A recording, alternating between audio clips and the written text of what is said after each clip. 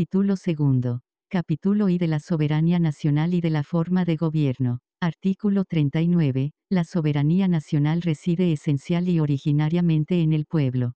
Todo poder público dimana del pueblo y se instituye para beneficio de éste. El pueblo tiene en todo tiempo el inalienable derecho de alterar o modificar la forma de su gobierno. Artículo 40. Es voluntad del pueblo mexicano constituirse en una república representativa, democrática, laica y federal, compuesta por estados libres y soberanos en todo lo concerniente a su régimen interior, y por la Ciudad de México unidos en una federación establecida según los principios de esta ley fundamental. Artículo 41. El pueblo ejerce su soberanía por medio de los poderes de la Unión, en los casos de la competencia de estos, y por los de los estados y la Ciudad de México, en lo que toca a sus regímenes interiores en los términos respectivamente establecidos por la presente Constitución Federal y las particulares de cada Estado y de la Ciudad de México, las que en ningún caso podrán contravenir las estipulaciones del Pacto Federal. Adicionado, DOF 6 de junio de 2019, la ley determinará las formas y modalidades que correspondan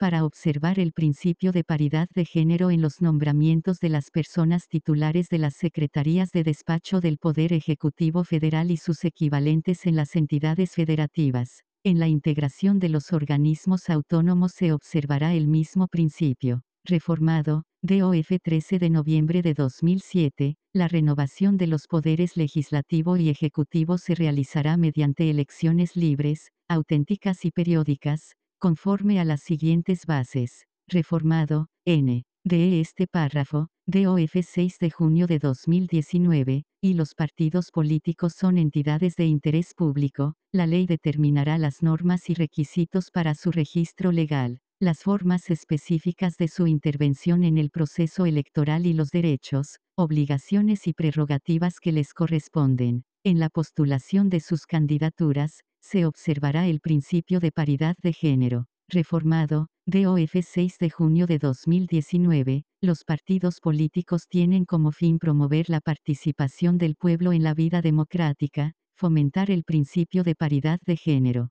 contribuir a la integración de los órganos de representación política, y como organizaciones ciudadanas, hacer posible su acceso al ejercicio del poder público, de acuerdo con los programas principios e ideas que postulan y mediante el sufragio universal, libre, secreto y directo, así como con las reglas que marque la ley electoral para garantizar la paridad de género, en las candidaturas a los distintos cargos de elección popular. Solo los ciudadanos y ciudadanas podrán formar partidos políticos y afiliarse libre e individualmente a ellos, por tanto, quedan prohibidas la intervención de organizaciones gremiales o con objeto social diferente en la creación de partidos y cualquier forma de afiliación corporativa. Reformado, DOF 13 de noviembre de 2007, las autoridades electorales solamente podrán intervenir en los asuntos internos de los partidos políticos en los términos que señalen esta Constitución y la ley. Adicionado, DOF 10 de febrero de 2014, los partidos políticos nacionales tendrán derecho a participar en las elecciones de las entidades federativas y municipales. El partido político nacional que no obtenga, al menos, el 3% del total de la votación válida emitida en cualquiera de las elecciones que se celebren para la renovación del Poder Ejecutivo o de las cámaras del Congreso de la Unión, le será cancelado el registro. Reformado primer párrafo, DOF 13 de noviembre de 2007, 2. La ley garantizará que los partidos políticos nacionales cuenten de manera equitativa con elementos para llevar a cabo sus actividades y señalará las reglas a que se sujetará el financiamiento de los propios partidos y sus campañas electorales, debiendo garantizar que los recursos públicos prevalezcan sobre los de origen privado reformado, DOF 13 de noviembre de 2007, el financiamiento público para los partidos políticos que mantengan su registro después de cada elección, se compondrá de las administraciones destinadas al sostenimiento de sus actividades ordinarias permanentes, las tendientes a la obtención del voto durante los procesos electorales y las de carácter específico. Se otorgará conforme a lo siguiente y a lo que disponga la ley. Reformado, DOF 27 de enero de 2016, reformado, N. D. Republicado, DOF 29 de enero de 2016. A. El financiamiento público para el sostenimiento de sus actividades ordinarias permanentes se fijará anualmente, multiplicando el número total de ciudadanos inscritos en el padrón electoral por el 65% del valor diario de la unidad de medida y actualización, el 30% de la cantidad que resulte de acuerdo a lo señalado anteriormente se distribuirá entre los partidos políticos en forma igualitaria y el 70% restante de acuerdo con el porcentaje de votos que hubieren obtenido en la elección de diputados inmediata anterior.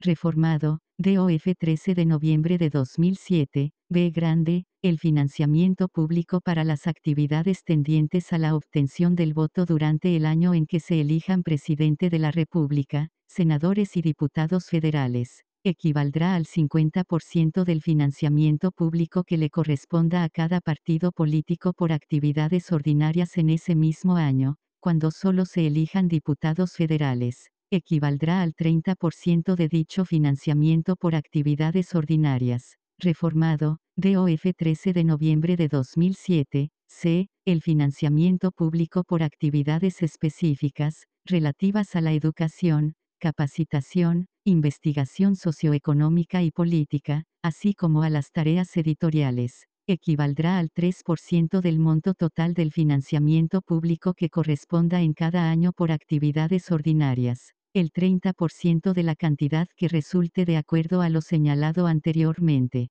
se distribuirá entre los partidos políticos en forma igualitaria y el 70% restante de acuerdo con el porcentaje de votos que hubieren obtenido en la elección de diputados inmediata anterior. Reformado, DOF 10 de febrero de 2014, la ley fijará los límites a las erogaciones en los procesos internos de selección de candidatos y en las campañas electorales. La propia ley establecerá el monto máximo que tendrán las aportaciones de sus militantes y simpatizantes, ordenará los procedimientos para el control, fiscalización oportuna y vigilancia, durante la campaña, del origen y uso de todos los recursos con que cuenten, asimismo, dispondrá las sanciones que deban imponerse por el incumplimiento de estas disposiciones. Reformado, DOF 13 de noviembre de 2007, de igual manera, la ley establecerá el procedimiento para la liquidación de las obligaciones de los partidos que pierdan su registro y los supuestos en los que sus bienes y remanentes serán adjudicados a la Federación. Reformado primer párrafo, DOF 10 de febrero de 2014. 3. Los partidos políticos nacionales tendrán derecho al uso de manera permanente de los medios de comunicación social los candidatos independientes tendrán derecho de acceso a prerrogativas para las campañas electorales en los términos que establezca la ley. Reformado primer párrafo, DOF 10 de febrero de 2014. Apartado A. El Instituto Nacional Electoral será autoridad única para la administración del tiempo que corresponda al Estado en radio y televisión destinado a sus propios fines y al ejercicio del derecho de los partidos políticos nacionales de acuerdo con lo siguiente y a lo que establezcan las leyes. Reformado, DOF 10 de febrero de 2014, a, a partir del inicio de las precampañas y hasta el día de la jornada electoral quedarán a disposición del Instituto Nacional Electoral 48 minutos diarios, que serán distribuidos en dos y hasta tres minutos por cada hora de transmisión en cada estación de radio y canal de televisión, en el horario referido en el inciso D, de este apartado. En el periodo comprendido entre el fin de las precampañas y el inicio de las campañas, el 50% de los tiempos en radio y televisión se destinará a los fines propios de las autoridades electorales, y el resto a la difusión de mensajes genéricos de los partidos políticos,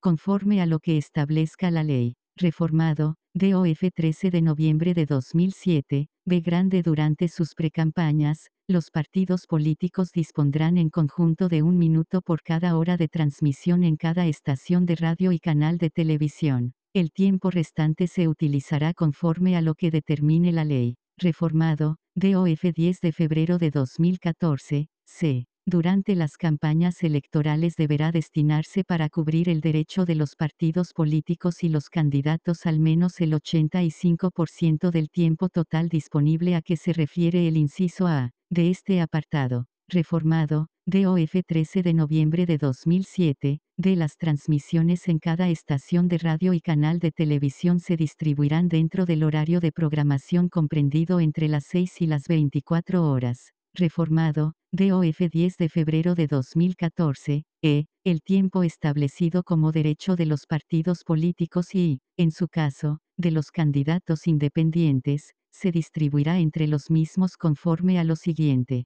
El 70% será distribuido entre los partidos políticos de acuerdo a los resultados de la elección para diputados federales inmediata anterior y el 30% restante será dividido en partes iguales, de las cuales, hasta una de ellas podrá ser asignada a los candidatos independientes en su conjunto. Reformado, DOF 13 de noviembre de 2007, F. A cada partido político nacional sin representación en el Congreso de la Unión se le asignará para radio y televisión solamente la parte correspondiente al porcentaje igualitario establecido en el inciso anterior, y, reformado, DOF 10 de febrero de 2014, G, con independencia de lo dispuesto en los apartados A y B grande de esta base y fuera de los periodos de precampañas y campañas electorales federales. Al Instituto Nacional Electoral le será asignado hasta el 12% del tiempo total de que el Estado disponga en radio y televisión, conforme a las leyes y bajo cualquier modalidad, del total asignado. El instituto distribuirá entre los partidos políticos nacionales en forma igualitaria un 50%, el tiempo restante lo utilizará para fines propios o de otras autoridades electorales, tanto federales como de las entidades federativas. Cada partido político nacional utilizará el tiempo que por este concepto le corresponda en los formatos que establezca la ley. En todo caso, las transmisiones a que se refiere este inciso se harán en el horario que determine el instituto conforme a lo señalado en el inciso D, del presente apartado. En situaciones especiales, el instituto podrá disponer de los tiempos correspondientes a mensajes partidistas a favor de un partido político, cuando así se justifique reformado, DOF 10 de febrero de 2014, los partidos políticos y los candidatos en ningún momento podrán contratar o adquirir, por sí o por terceras personas, tiempos en cualquier modalidad de radio y televisión. Reformado, DOF 13 de noviembre de 2007, ninguna otra persona física o moral, sea a título propio o por cuenta de terceros, podrá contratar propaganda en radio y televisión dirigida a influir en las preferencias electorales de los ciudadanos, ni a favor o en contra de partidos políticos o de candidatos a cargos de elección popular.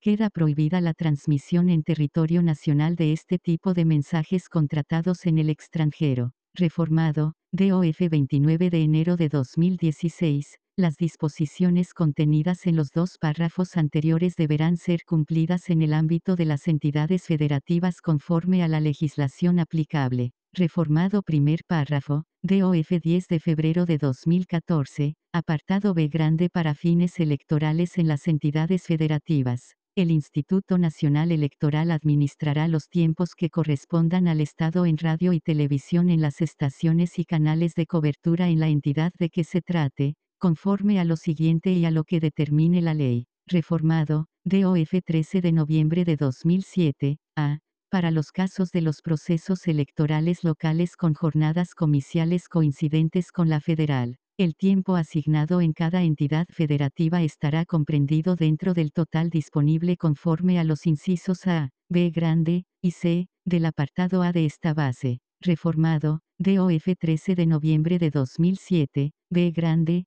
para los demás procesos electorales, la asignación se hará en los términos de la ley, conforme a los criterios de esta base constitucional, y, reformado, DOF 10 de febrero de 2014, c. La distribución de los tiempos entre los partidos políticos, incluyendo a los de registro local, y los candidatos independientes se realizará de acuerdo con los criterios señalados en el apartado A de esta base y lo que determine la legislación aplicable reformado, DOF 10 de febrero de 2014, cuando a juicio del Instituto Nacional Electoral el tiempo total en radio y televisión a que se refieren este apartado y el anterior fuese insuficiente para sus propios fines, los de otras autoridades electorales o para los candidatos independientes, determinará lo conducente para cubrir el tiempo faltante, conforme a las facultades que la ley le confiera. Reformado primer párrafo, DOF 10 de febrero de 2014, apartado C en la propaganda política o electoral que difundan los partidos y candidatos deberán abstenerse de expresiones que calumnien a las personas.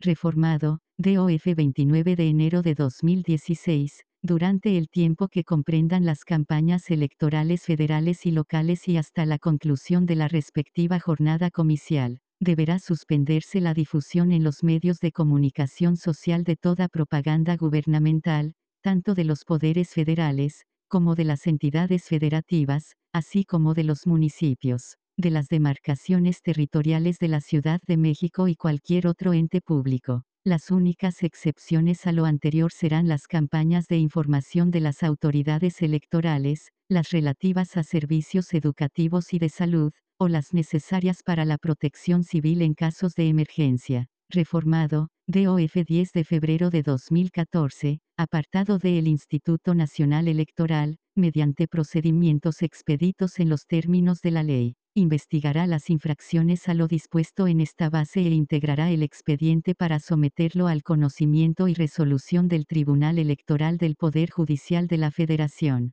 En el procedimiento, el instituto podrá imponer, entre otras medidas cautelares, la orden de suspender o cancelar de manera inmediata las transmisiones en radio y televisión, de conformidad con lo que disponga la ley. Reformado primer párrafo, DOF 10 de febrero de 2014, 4. La ley establecerá los requisitos y las formas de realización de los procesos de selección y postulación de candidatos a cargos de elección popular, así como las reglas para las precampañas y las campañas electorales. Reformado, DOF 13 de noviembre de 2007, la duración de las campañas en el año de elecciones para presidente de la República, senadores y diputados federales será de 90 días, en el año en que solo se elijan diputados federales. Las campañas durarán 60 días. En ningún caso las precampañas excederán las dos terceras partes del tiempo previsto para las campañas electorales. Reformado, DOF 13 de noviembre de 2007, la violación a estas disposiciones por los partidos o cualquier otra persona física o moral será sancionada conforme a la ley. Reformada, N. D. con los apartados que la integran, DOF 10 de febrero de 2014, B. chica. La organización de las elecciones es una función estatal que se realiza a través del Instituto Nacional Electoral y de los organismos públicos locales, en los términos que establece esta Constitución. Apartado A. El Instituto Nacional Electoral es un organismo público autónomo dotado de personalidad jurídica y patrimonio propios, en cuya integración participan el Poder Legislativo de la Unión, los partidos políticos nacionales y los ciudadanos en los términos que ordene la ley. En el ejercicio de esta función estatal, la certeza, legalidad, independencia, imparcialidad, máxima publicidad y objetividad serán principios rectores. Reformado, DOF 27 de mayo de 2015, el Instituto Nacional Electoral será autoridad en la materia, independiente en sus decisiones y funcionamiento, y profesional en su desempeño,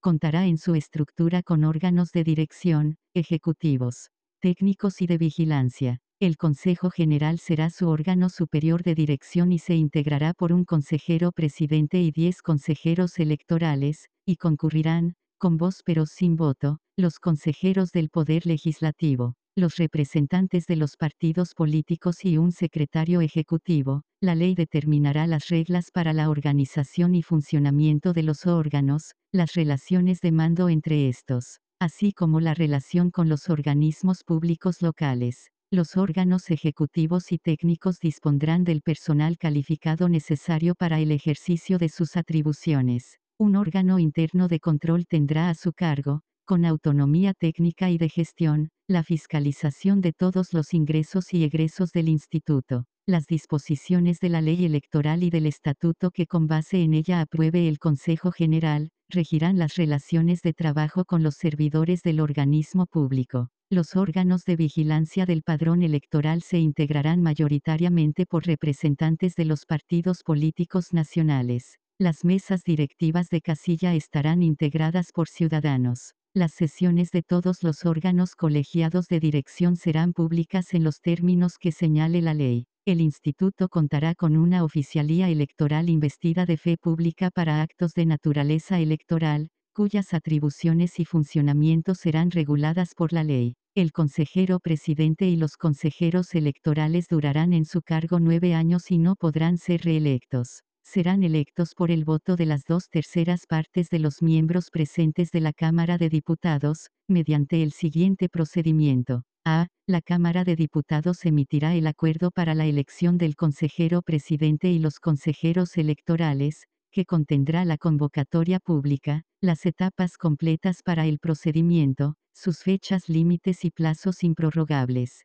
así como el proceso para la designación de un comité técnico de evaluación, integrado por siete personas de reconocido prestigio, de las cuales tres serán nombradas por el órgano de dirección política de la Cámara de Diputados dos por la Comisión Nacional de los Derechos Humanos y dos por el organismo garante establecido en el artículo sexto de esta Constitución. B. Grande, el comité recibirá la lista completa de los aspirantes que concurran a la convocatoria pública, evaluará el cumplimiento de los requisitos constitucionales y legales, así como su idoneidad para desempeñar el cargo seleccionará a los mejor evaluados en una proporción de cinco personas por cada cargo vacante, y remitirá la relación correspondiente al órgano de dirección política de la Cámara de Diputados. C. El órgano de dirección política impulsará la construcción de los acuerdos para la elección del consejero presidente y los consejeros electorales, a fin de que una vez realizada la votación por este órgano en los términos de la ley, se remita al Pleno de la Cámara la propuesta con las designaciones correspondientes.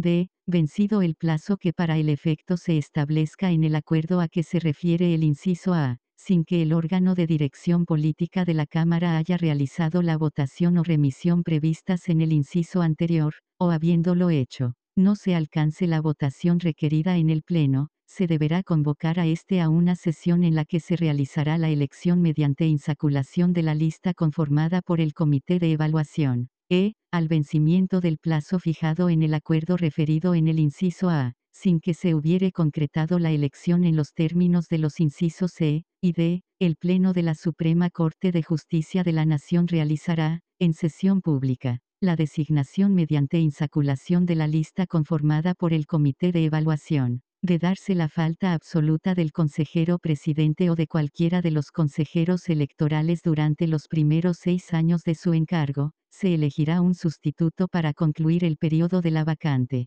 Si la falta ocurriese dentro de los últimos tres años, se elegirá a un consejero para un nuevo periodo. El consejero presidente y los consejeros electorales no podrán tener otro empleo, cargo o comisión, con excepción de aquellos en que actúen en representación del Consejo General y los no remunerados que desempeñen en asociaciones docentes, científicas, culturales, de investigación o de beneficencia. Reformado, DOF 27 de mayo de 2015. El titular del órgano interno de control del instituto será designado por la Cámara de Diputados con el voto de las dos terceras partes de sus miembros presentes a propuesta de instituciones públicas de educación superior, en la forma y términos que determine la ley. Durará seis años en el cargo y podrá ser reelecto por una sola vez estará adscrito administrativamente a la presidencia del Consejo General y mantendrá la coordinación técnica necesaria con la Auditoría Superior de la Federación. El secretario ejecutivo será nombrado con el voto de las dos terceras partes del Consejo General a propuesta de su presidente. Reformado,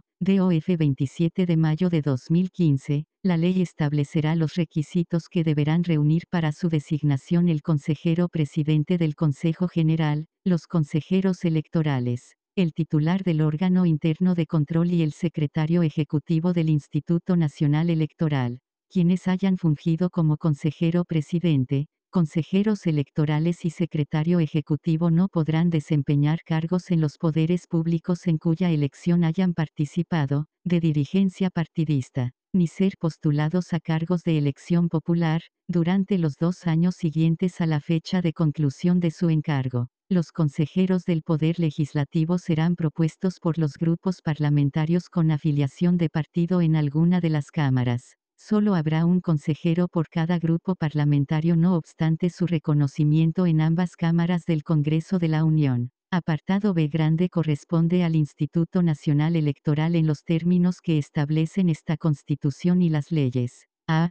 Para los procesos electorales federales y locales. 1. La capacitación electoral. 2. La geografía electoral, así como el diseño y determinación de los distritos electorales y división del territorio en secciones electorales. 3. El padrón y la lista de electores. 4 la ubicación de las casillas y la designación de los funcionarios de sus mesas directivas. 5. Las reglas, lineamientos, criterios y formatos en materia de resultados preliminares, encuestas o sondeos de opinión, observación electoral, conteos rápidos, impresión de documentos y producción de materiales electorales. 6. La fiscalización de los ingresos y egresos de los partidos políticos y candidatos. Y 7 las demás que determine la ley. B grande, para los procesos electorales federales. 1. Los derechos y el acceso a las prerrogativas de los candidatos y partidos políticos.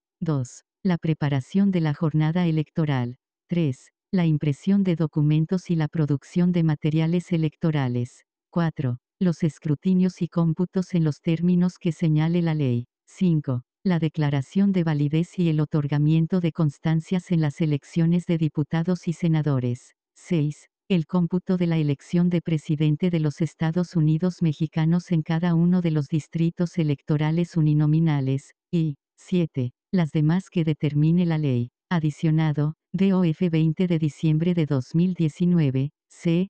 Para los procesos de revocación de mandato, en los términos del artículo 35, fracción 9. El Instituto Nacional Electoral deberá realizar aquellas funciones que correspondan para su debida implementación. Reformado, DOF 20 de diciembre de 2019, el Instituto Nacional Electoral asumirá mediante convenio con las autoridades competentes de las entidades federativas que así lo soliciten la organización de procesos electorales, de consulta popular y de revocación de mandato en el ámbito de aquellas, en los términos que disponga su constitución y la legislación aplicable, a petición de los partidos políticos y con cargo a sus prerrogativas, en los términos que establezca la ley, podrá organizar las elecciones de sus dirigentes. La fiscalización de las finanzas de los partidos políticos y de las campañas de los candidatos estará a cargo del Consejo General del Instituto Nacional Electoral. La ley desarrollará las atribuciones del Consejo para la realización de dicha función, así como la definición de los órganos técnicos dependientes del mismo,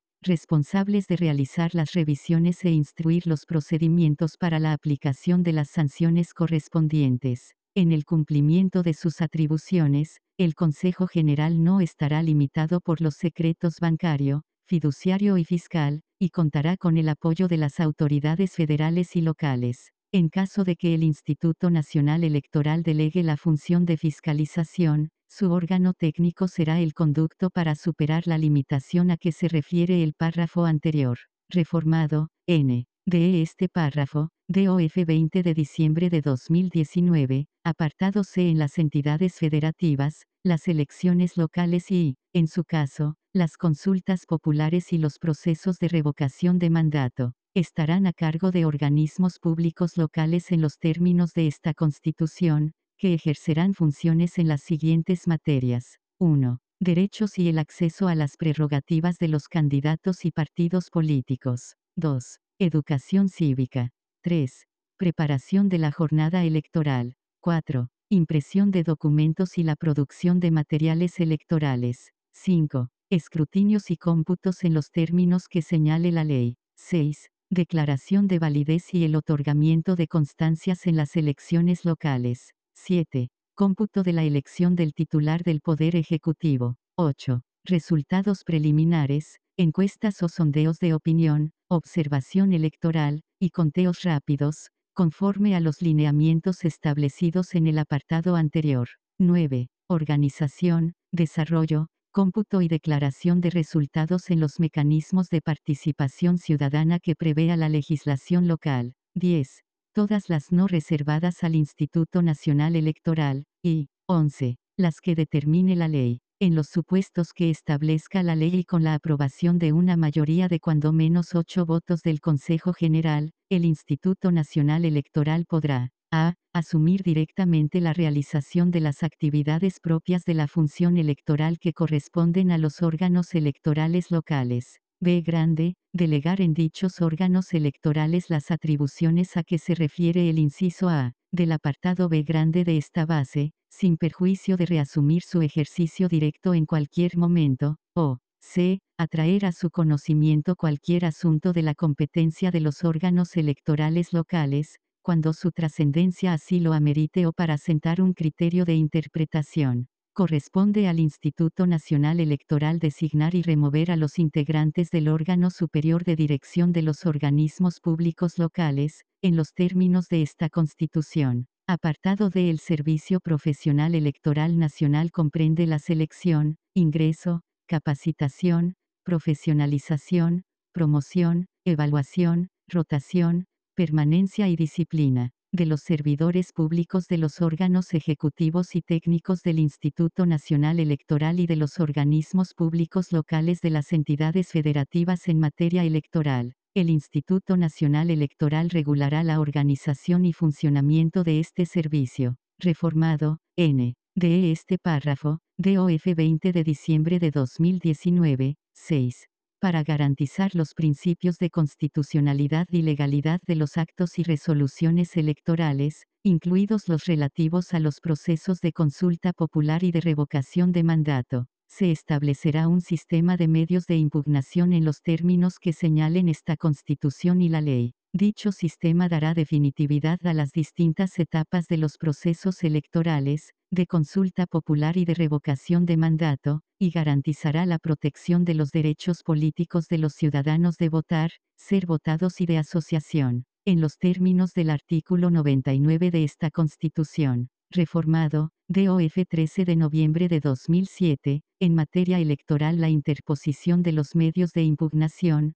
constitucionales o legales, no producirá efectos suspensivos sobre la resolución o el acto impugnado. Adicionado, DOF 10 de febrero de 2014, la ley establecerá el sistema de nulidades de las elecciones federales o locales por violaciones graves, dolosas y determinantes en los siguientes casos. A. Se exceda el gasto de campaña en un 5% del monto total autorizado. Reformado, DOF 7 de julio de 2014, B. Grande, se compre o adquiera cobertura informativa o tiempos en radio y televisión, fuera de los supuestos previstos en la ley. C. Se reciban o utilicen recursos de procedencia ilícita o recursos públicos en las campañas. Adicionado, DOF 10 de febrero de 2014, dichas violaciones deberán acreditarse de manera objetiva y material. Se presumirá que las violaciones son determinantes cuando la diferencia entre la votación obtenida entre el primero y el segundo lugar sea menor al 5%.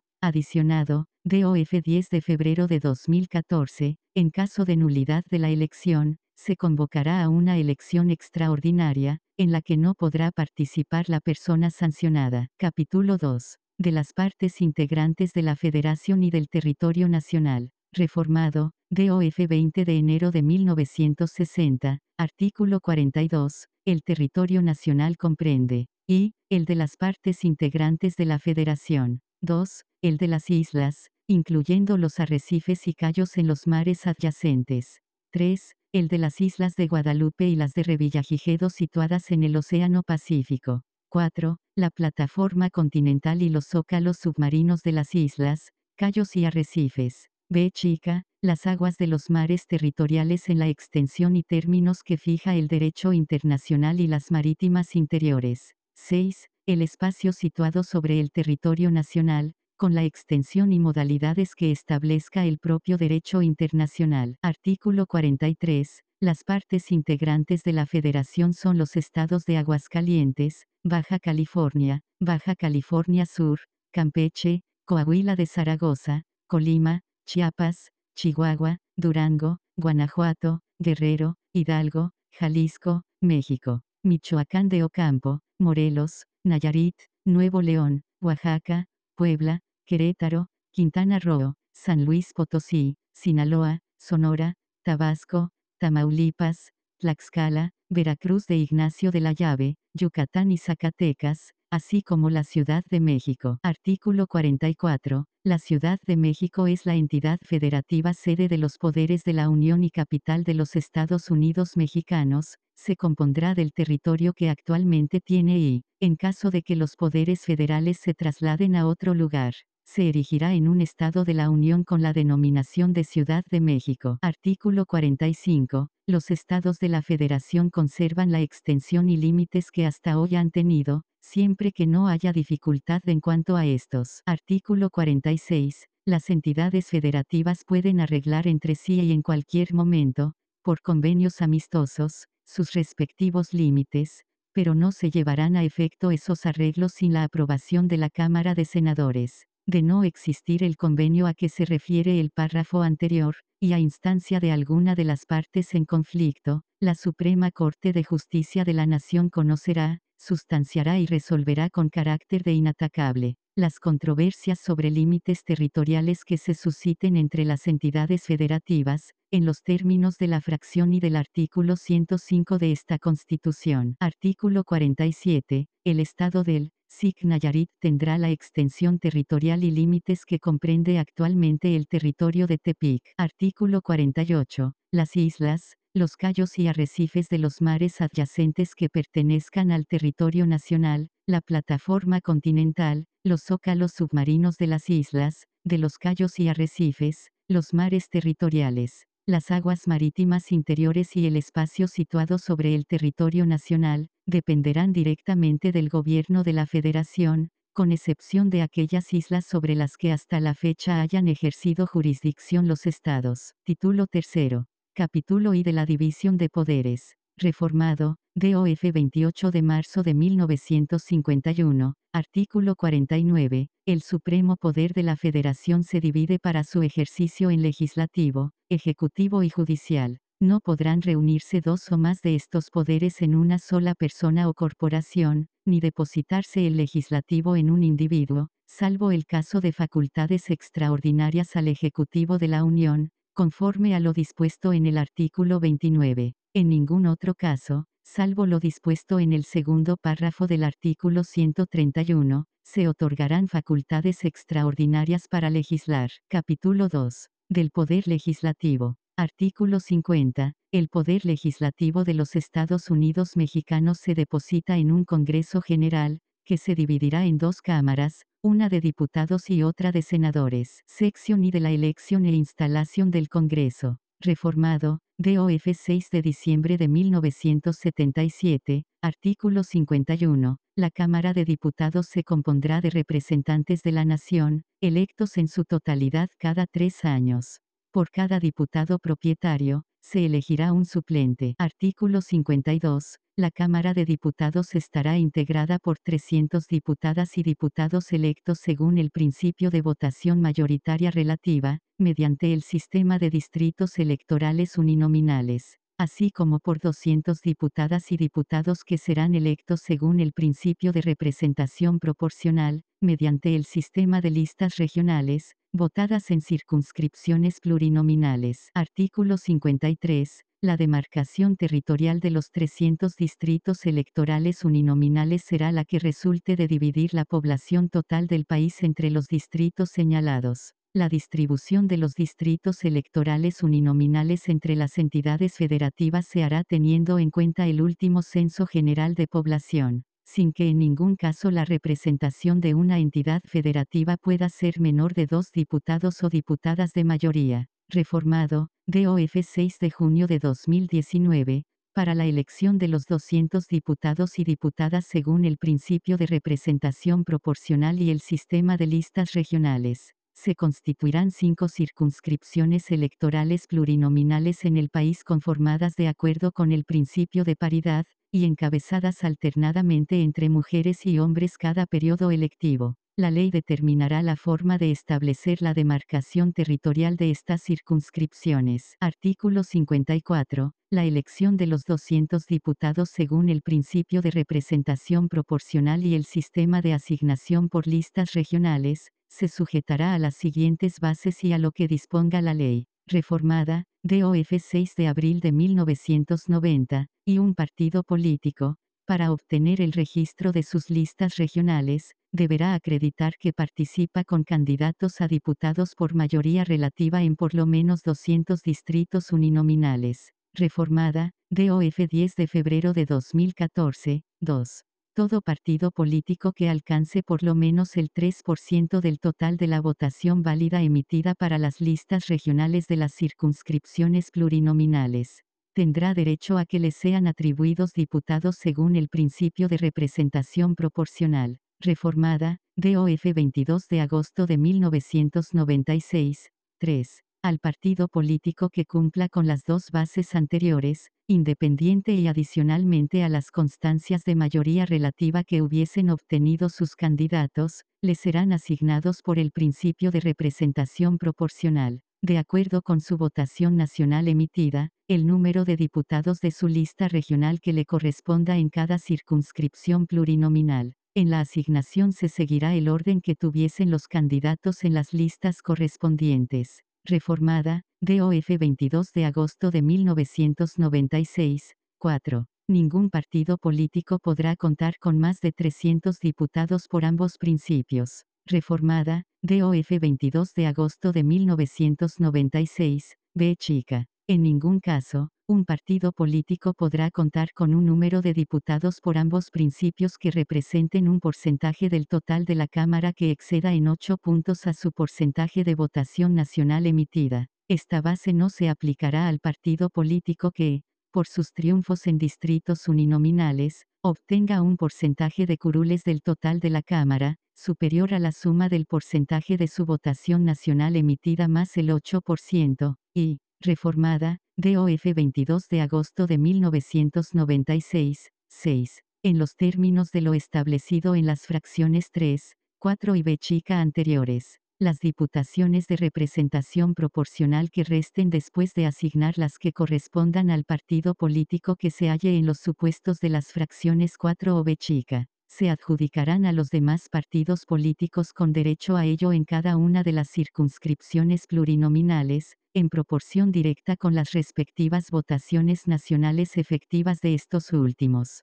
La ley desarrollará las reglas y fórmulas para estos efectos. Artículo 55. Para ser diputado se requiere, y, ser ciudadano mexicano, por nacimiento, en el ejercicio de sus derechos. Reformada, DOF 6 de junio de 2023. 2. Tener 18 años cumplidos el día de la elección. Reformado primer párrafo, DOF 29 de enero de 2016. 3. Ser originario de la entidad federativa en que se haga la elección o vecino de esta con residencia efectiva de más de seis meses anteriores a la fecha de ella. Reformado, DOF 6 de diciembre de 1977, para poder figurar en las listas de las circunscripciones electorales plurinominales como candidato a diputado, se requiere ser originario de alguna de las entidades federativas que comprenda la circunscripción en la que se realice la elección, o vecino de ella con residencia efectiva de más de seis meses anteriores a la fecha en que la misma se celebre. Reformado, DOF 6 de diciembre de 1977, la vecindad no se pierde por ausencia en el desempeño de cargos públicos de elección popular.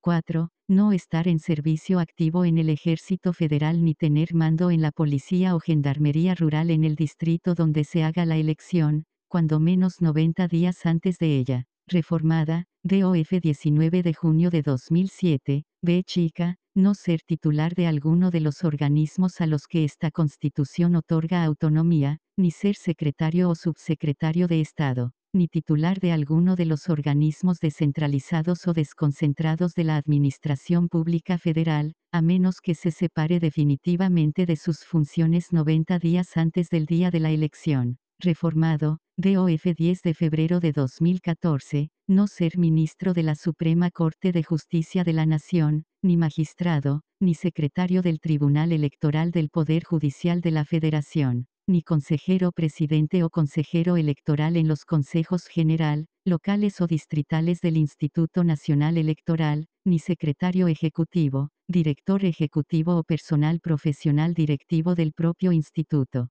salvo que se hubiere separado de su encargo, de manera definitiva, tres años antes del día de la elección. Reformado, DOF 29 de enero de 2016, los gobernadores de los estados y el jefe de gobierno de la Ciudad de México no podrán ser electos en las entidades de sus respectivas jurisdicciones durante el periodo de su encargo, aun cuando se separen definitivamente de sus puestos. Reformado, DOF 29 de enero de 2016, los secretarios del gobierno de las entidades federativas, los magistrados y jueces federales y locales, así como los presidentes municipales y alcaldes en el caso de la Ciudad de México, no podrán ser electos en las entidades de sus respectivas jurisdicciones, si no se separan definitivamente de sus cargos 90 días antes del día de la elección. Reformada, DOF 29 de abril de 1933, 6 no ser ministro de algún culto religioso, y, adicionada, DOF 29 de abril de 1933, 7. No estar comprendido en alguna de las incapacidades que señala el artículo 59. Artículo 56. La Cámara de Senadores se integrará por 128 senadoras y senadores, de los cuales, en cada estado y en la Ciudad de México, dos serán elegidos según el principio de votación mayoritaria relativa y uno será asignado a la primera minoría.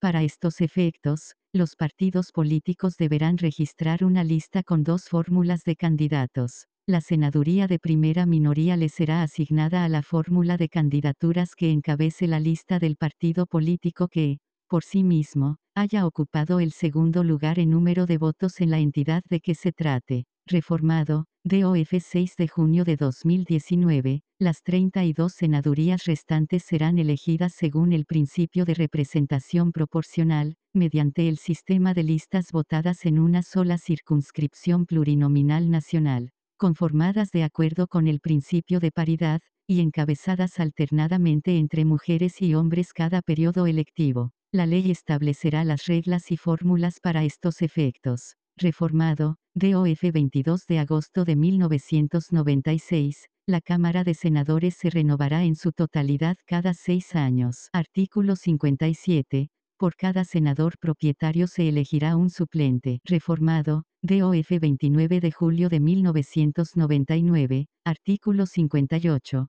Para ser senador se requieren los mismos requisitos que para ser diputado, excepto el de la edad, que será la de 25 años cumplidos el día de la elección. Reformado, DOF 10 de febrero de 2014, artículo 59, los senadores podrán ser electos hasta por dos periodos consecutivos y los diputados al Congreso de la Unión hasta por cuatro periodos consecutivos. La postulación solo podrá ser realizada por el mismo partido o por cualquiera de los partidos integrantes de la coalición que los hubieren postulado, salvo que hayan renunciado o perdido su militancia antes de la mitad de su mandato. Artículo 60. El organismo público previsto en el artículo 41 de esta Constitución, de acuerdo con lo que disponga la ley, declarará la validez de las elecciones de diputados y senadores en cada uno de los distritos electorales uninominales y en cada una de las entidades federativas otorgará las constancias respectivas a las fórmulas de candidatos que hubiesen obtenido mayoría de votos y hará la asignación de senadores de primera minoría de conformidad con lo dispuesto en el artículo 56 de esta Constitución y en la ley.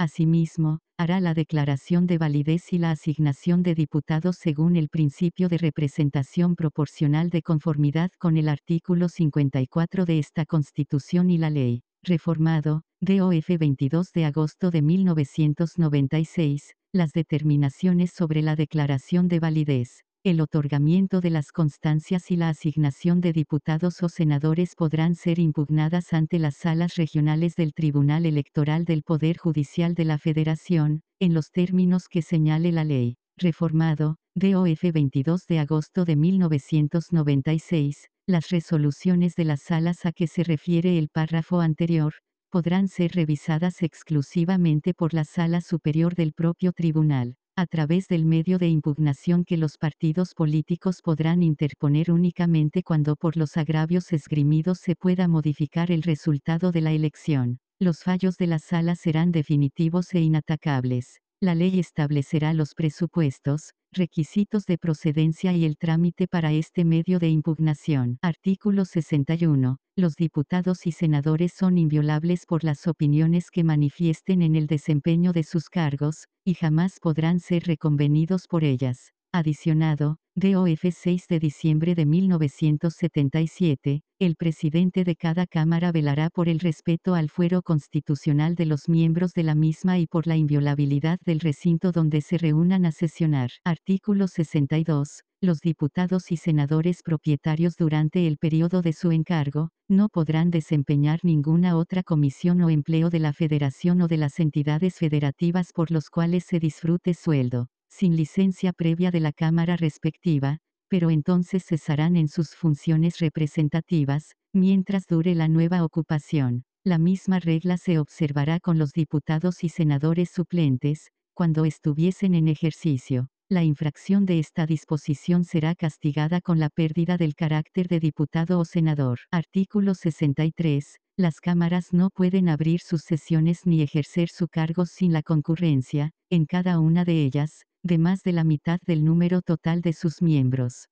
Pero los presentes de una y otra deberán reunirse el día señalado por la ley y compeler a los ausentes a que concurran dentro de los 30 días siguientes, con la advertencia de que si no lo hiciesen se entenderá por ese solo hecho, que no aceptan su encargo, llamándose luego a los suplentes, los que deberán presentarse en un plazo igual, y si tampoco lo hiciesen, se declarará vacante el puesto tanto las vacantes de diputados y senadores del Congreso de la Unión que se presenten al inicio de la legislatura, como las que ocurran durante su ejercicio, se cubrirán. La vacante de diputados y senadores del Congreso de la Unión por el principio de mayoría relativa, la Cámara respectiva convocará a elecciones extraordinarias de conformidad con lo que dispone la fracción 4 del artículo 77 de esta Constitución la vacante de miembros de la Cámara de Diputados electos por el principio de representación proporcional, será cubierta por la fórmula de candidatos del mismo partido que siga en el orden de la lista regional respectiva.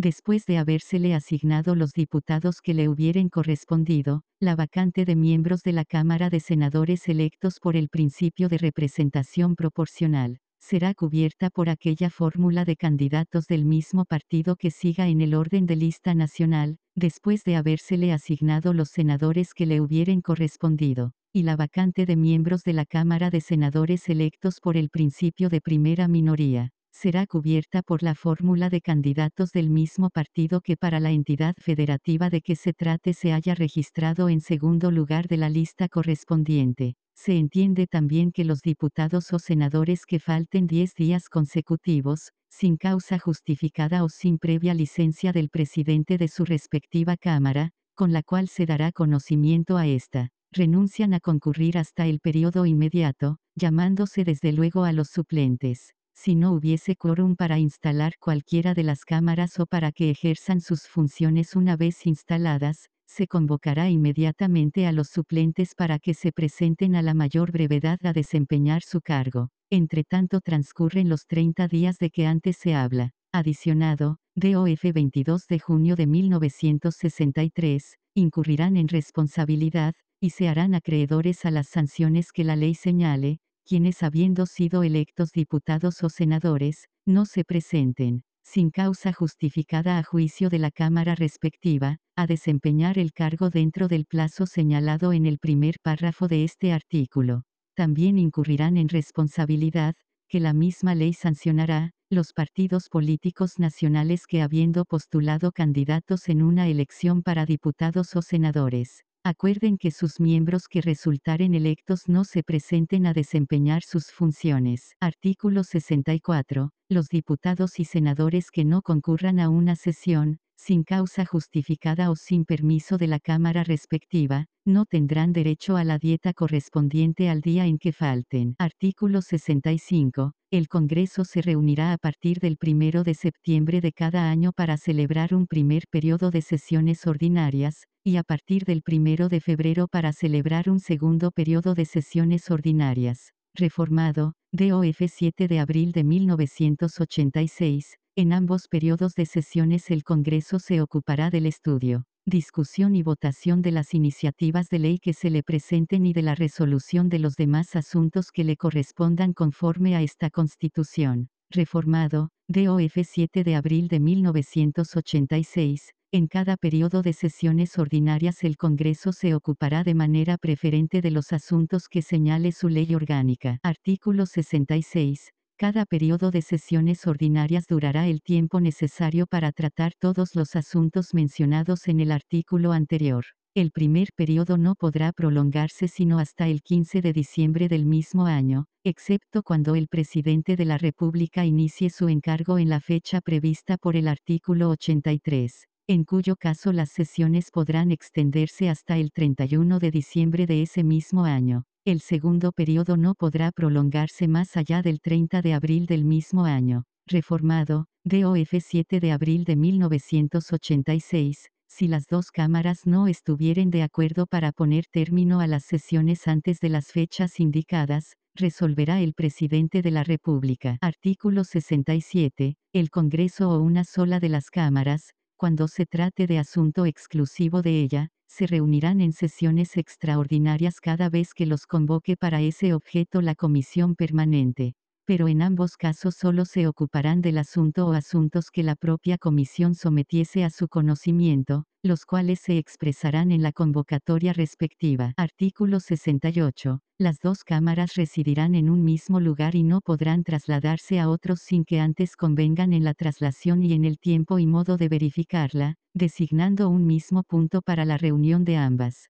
Pero si conviniendo las dos en la traslación, difieren en cuanto al tiempo, modo y lugar, el Ejecutivo terminará la diferencia, eligiendo uno de los dos extremos en cuestión. Ninguna Cámara podrá suspender sus sesiones por más de tres días, sin consentimiento de la otra. Artículo 69. En la apertura de sesiones ordinarias del primer periodo de cada año de ejercicio del Congreso, el presidente de la República presentará un informe por escrito, en el que manifieste el estado general que guarda la administración pública del país. En la apertura de las sesiones extraordinarias del Congreso de la Unión, o de una sola de sus cámaras, el presidente de la comisión permanente informará acerca de los motivos o razones que originaron la convocatoria. Reformado, DOF 10 de febrero de 2014.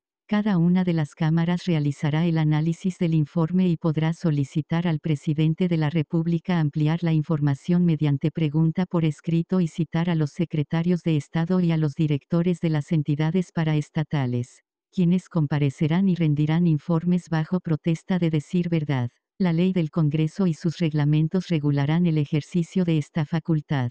NDE en relación con la entrada en vigor del presente párrafo, véase décimo segundo transitorio del decreto que modifica la Constitución, adicionado, DOF 10 de febrero de 2014, en el primer año de su mandato. En la apertura del segundo periodo de sesiones ordinarias del Congreso, el presidente de la República presentará ante la Cámara de Senadores, para su aprobación, la Estrategia Nacional de Seguridad Pública e informará anualmente sobre el estado que guarde. Artículo 70. Toda resolución del Congreso tendrá el carácter de ley o decreto. Las leyes o decretos se comunicarán al Ejecutivo firmados por los presidentes de ambas cámaras y por un secretario de cada una de ellas, y se promulgarán en esta forma, el Congreso de los Estados Unidos Mexicanos decreta, texto de la ley o decreto, adicionado, DOF 6 de diciembre de 1977, el Congreso expedirá la ley que regulará su estructura y funcionamiento internos. Adicionado, DOF 6 de diciembre de 1977, la ley determinará las formas y procedimientos para la agrupación de los diputados, según su afiliación de partido, a efecto de garantizar la libre expresión de las corrientes ideológicas representadas en la Cámara de Diputados. Adicionado, DOF 6 de diciembre de 1977, esta ley no podrá ser vetada ni necesitará de promulgación del Ejecutivo Federal para tener vigencia. Sección 2. De la iniciativa y formación de las leyes. Artículo 71. El derecho de iniciar leyes o decretos compite. Y, al presidente de la República. Reformada, DOF 9 de agosto de 2012. 2. A los diputados y senadores al Congreso de la Unión reformada, DOF 29 de enero de 2016, 3, a las legislaturas de los estados y de la Ciudad de México, y, adicionada, DOF 9 de agosto de 2012, 4, a los ciudadanos en un número equivalente, por lo menos, al 0.13% de la lista nominal de electores, en los términos que señalen las leyes. Reformado, DOF 9 de agosto de 2012, la ley del Congreso determinará el trámite que deba darse a las iniciativas. Adicionado, DOF 9 de agosto de 2012, el día de la apertura de cada periodo ordinario de sesiones el presidente de la República podrá presentar hasta dos iniciativas para trámite preferente, o señalar con tal carácter hasta dos que hubiere presentado en periodos anteriores, cuando estén pendientes de dictamen. Cada iniciativa deberá ser discutida y votada por el Pleno de la Cámara de su origen en un plazo máximo de 30 días naturales. Si no fuere así, la iniciativa, en sus términos y sin mayor trámite, será el primer asunto que deberá ser discutido y votado en la siguiente sesión del Pleno. En caso de ser aprobado o modificado por la Cámara de su origen, el respectivo proyecto de ley o decreto pasará de inmediato a la Cámara Revisora, la cual deberá discutirlo y votarlo en el mismo plazo y bajo las condiciones antes señaladas. Adicionado, DOF 9 de agosto de 2012, no podrán tener carácter preferente las iniciativas de adición o reforma a esta Constitución. Artículo 72. Todo proyecto de ley o decreto, cuya resolución no sea exclusiva de alguna de las cámaras, se discutirá sucesivamente en ambas, observándose la ley del Congreso y sus reglamentos respectivos, sobre la forma, intervalos y modo de proceder en las discusiones y votaciones. A. Aprobado un proyecto en la Cámara de su origen, pasará para su discusión a la otra. Si ésta lo aprobare, se remitirá al Ejecutivo, quien, si no tuviere observaciones que hacer, lo publicará inmediatamente. Reformado, DOF 17 de agosto de 2011, B grande, se reputará aprobado por el Poder Ejecutivo todo proyecto no devuelto con observaciones a la Cámara de su origen dentro de los 30 días naturales siguientes a su recepción. Vencido este plazo el Ejecutivo dispondrá de 10 días naturales para promulgar y publicar la ley o decreto. Transcurrido este segundo plazo, la ley o decreto será considerado promulgado y el presidente de la Cámara de Origen ordenará dentro de los 10 días naturales siguientes su publicación en el Diario Oficial de la Federación, sin que se requiera refrendo. Los plazos a que se refiere esta fracción no se interrumpirán si el Congreso cierra o suspende sus sesiones, en cuyo caso la devolución deberá hacerse a la Comisión Permanente. C. El proyecto de ley o decreto desechado en todo o en parte por el Ejecutivo, será devuelto, con sus observaciones, a la Cámara de su origen. Deberá ser discutido de nuevo por esta, SIC, y si fuese confirmado por las dos terceras partes del número total de votos, pasará otra vez a la Cámara Revisora. Si por esta fuese sancionado por la misma mayoría, el proyecto será ley o decreto y volverá al Ejecutivo para su promulgación. Las votaciones de ley o decreto serán nominales. D. Si algún proyecto de ley o decreto fuese desechado en su totalidad por la Cámara de Revisión, volverá a la de su origen con las observaciones que aquella le hubiese hecho si examinado de nuevo fuese aprobado por la mayoría absoluta de los miembros presentes, volverá a la Cámara que lo desechó, la cual lo tomará otra vez en consideración, y si lo aprobare por la misma mayoría, pasará al Ejecutivo para los efectos de la fracción A, pero si lo reprobase, no podrá volver a presentarse en el mismo periodo de sesiones. E. Si un proyecto de ley o decreto fuese desechado en parte, o modificado, o adicionado por la Cámara Revisora, la nueva discusión de la Cámara de su origen versará únicamente sobre lo desechado o sobre las reformas o adiciones, sin poder alterarse en manera alguna los artículos aprobados. Si las adiciones o reformas hechas por la Cámara Revisora fuesen aprobadas por la mayoría absoluta de los votos presentes en la Cámara de su origen, se pasará todo el proyecto al Ejecutivo.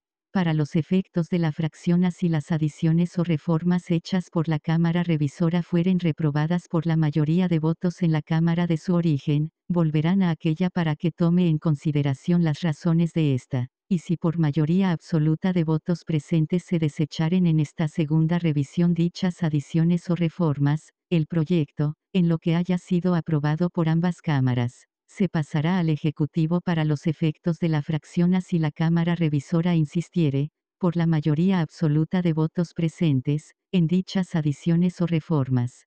Todo el proyecto no volverá a presentarse sino hasta el siguiente periodo de sesiones, a no ser que ambas cámaras acuerden, por la mayoría absoluta de sus miembros presentes, que se expida la ley o decreto solo con los artículos aprobados, y que se reserven los adicionados o reformados para su examen y votación en las sesiones siguientes. F. En la interpretación, reforma o derogación de las leyes o decretos, se observarán los mismos trámites establecidos para su formación. G. Todo proyecto de ley o decreto que fuere desechado en la Cámara de su origen, no podrá volver a presentarse en las sesiones del año. H. La formación de las leyes o decretos puede comenzar indistintamente en cualquiera de las dos cámaras, con excepción de los proyectos que versaren sobre empréstitos, contribuciones o impuestos, o sobre reclutamiento de tropas, todos los cuales deberán discutirse primero en la Cámara de Diputados y, las iniciativas de leyes o decretos se discutirán preferentemente en la Cámara en que se presenten, a menos que transcurra un mes desde que se pasen a la comisión dictaminadora sin que ésta rinda dictamen, pues en tal caso el mismo proyecto de ley o decreto puede presentarse y discutirse en la otra Cámara. Reformado, DOF 24 de noviembre de 1923, y, SIC, el Ejecutivo de la Unión no puede hacer observaciones a las resoluciones del Congreso o de alguna de las cámaras, cuando ejerzan funciones de cuerpo electoral o de jurado, lo mismo que cuando la Cámara de Diputados declare que debe acusarse a uno de los altos funcionarios de la Federación por delitos oficiales. Tampoco podrá hacerlas al decreto de convocatoria a sesiones extraordinarias que expida la Comisión Permanente. Sección 3. De las facultades del Congreso. Reformado primer párrafo, DOF 10 de febrero de 1944, artículo 73, el Congreso tiene facultad. Reformada, DOF 8 de octubre de 1974, y, para admitir nuevos estados a la Unión Federal. 2. Reformada, N. D. Derogada, DOF 8 de octubre de 1974. 3. Para formar nuevos estados dentro de los límites de los existentes, siendo necesario al efecto. Primero, que la fracción o fracciones que pidan erigirse en estados, cuenten con una población de 120.000 habitantes, por lo menos. Segundo, que se compruebe ante el Congreso que tiene los elementos bastantes para proveer a su existencia política. Reformado, DOF 29 de enero de 2016. Tercero, que sean oídas las legislaturas de las entidades federativas de cuyo territorio se trate, sobre la conveniencia o inconveniencia de la erección del nuevo Estado, quedando obligadas a dar su informe dentro de seis meses, contados desde el día en que se les remita la comunicación respectiva. Cuarto, que igualmente se oiga al Ejecutivo de la Federación, el cual enviará su informe dentro de siete días contados desde la fecha en que les sea pedido. Quinto, que sea votada la erección del nuevo Estado por dos terceras partes de los diputados y senadores presentes en sus respectivas cámaras. Reformado, DOF 29 de enero de 2016. Sexto, que la resolución del Congreso sea ratificada por la mayoría de las legislaturas de las entidades federativas, previo examen de la copia del expediente, siempre que hayan dado su consentimiento las legislaturas de las entidades federativas de cuyo territorio se trate. Reformado, DOF 29 de enero de 2016. Séptimo, si las legislaturas de las entidades federativas de cuyo territorio se trate, no hubieren dado su consentimiento, la ratificación de que habla la fracción anterior, deberá ser hecha por las dos terceras partes del total de legislaturas de las demás entidades federativas. 4. Derogada, DOF 8 de diciembre de 2005. B. Chica, para cambiar la residencia de los supremos poderes de la Federación. 6. Derogada, DOF 22 de agosto de 1996. 7. Para imponer las contribuciones necesarias a cubrir el presupuesto. Reformada, DOF 26 de mayo de 2015. 8. En materia de deuda pública. Para.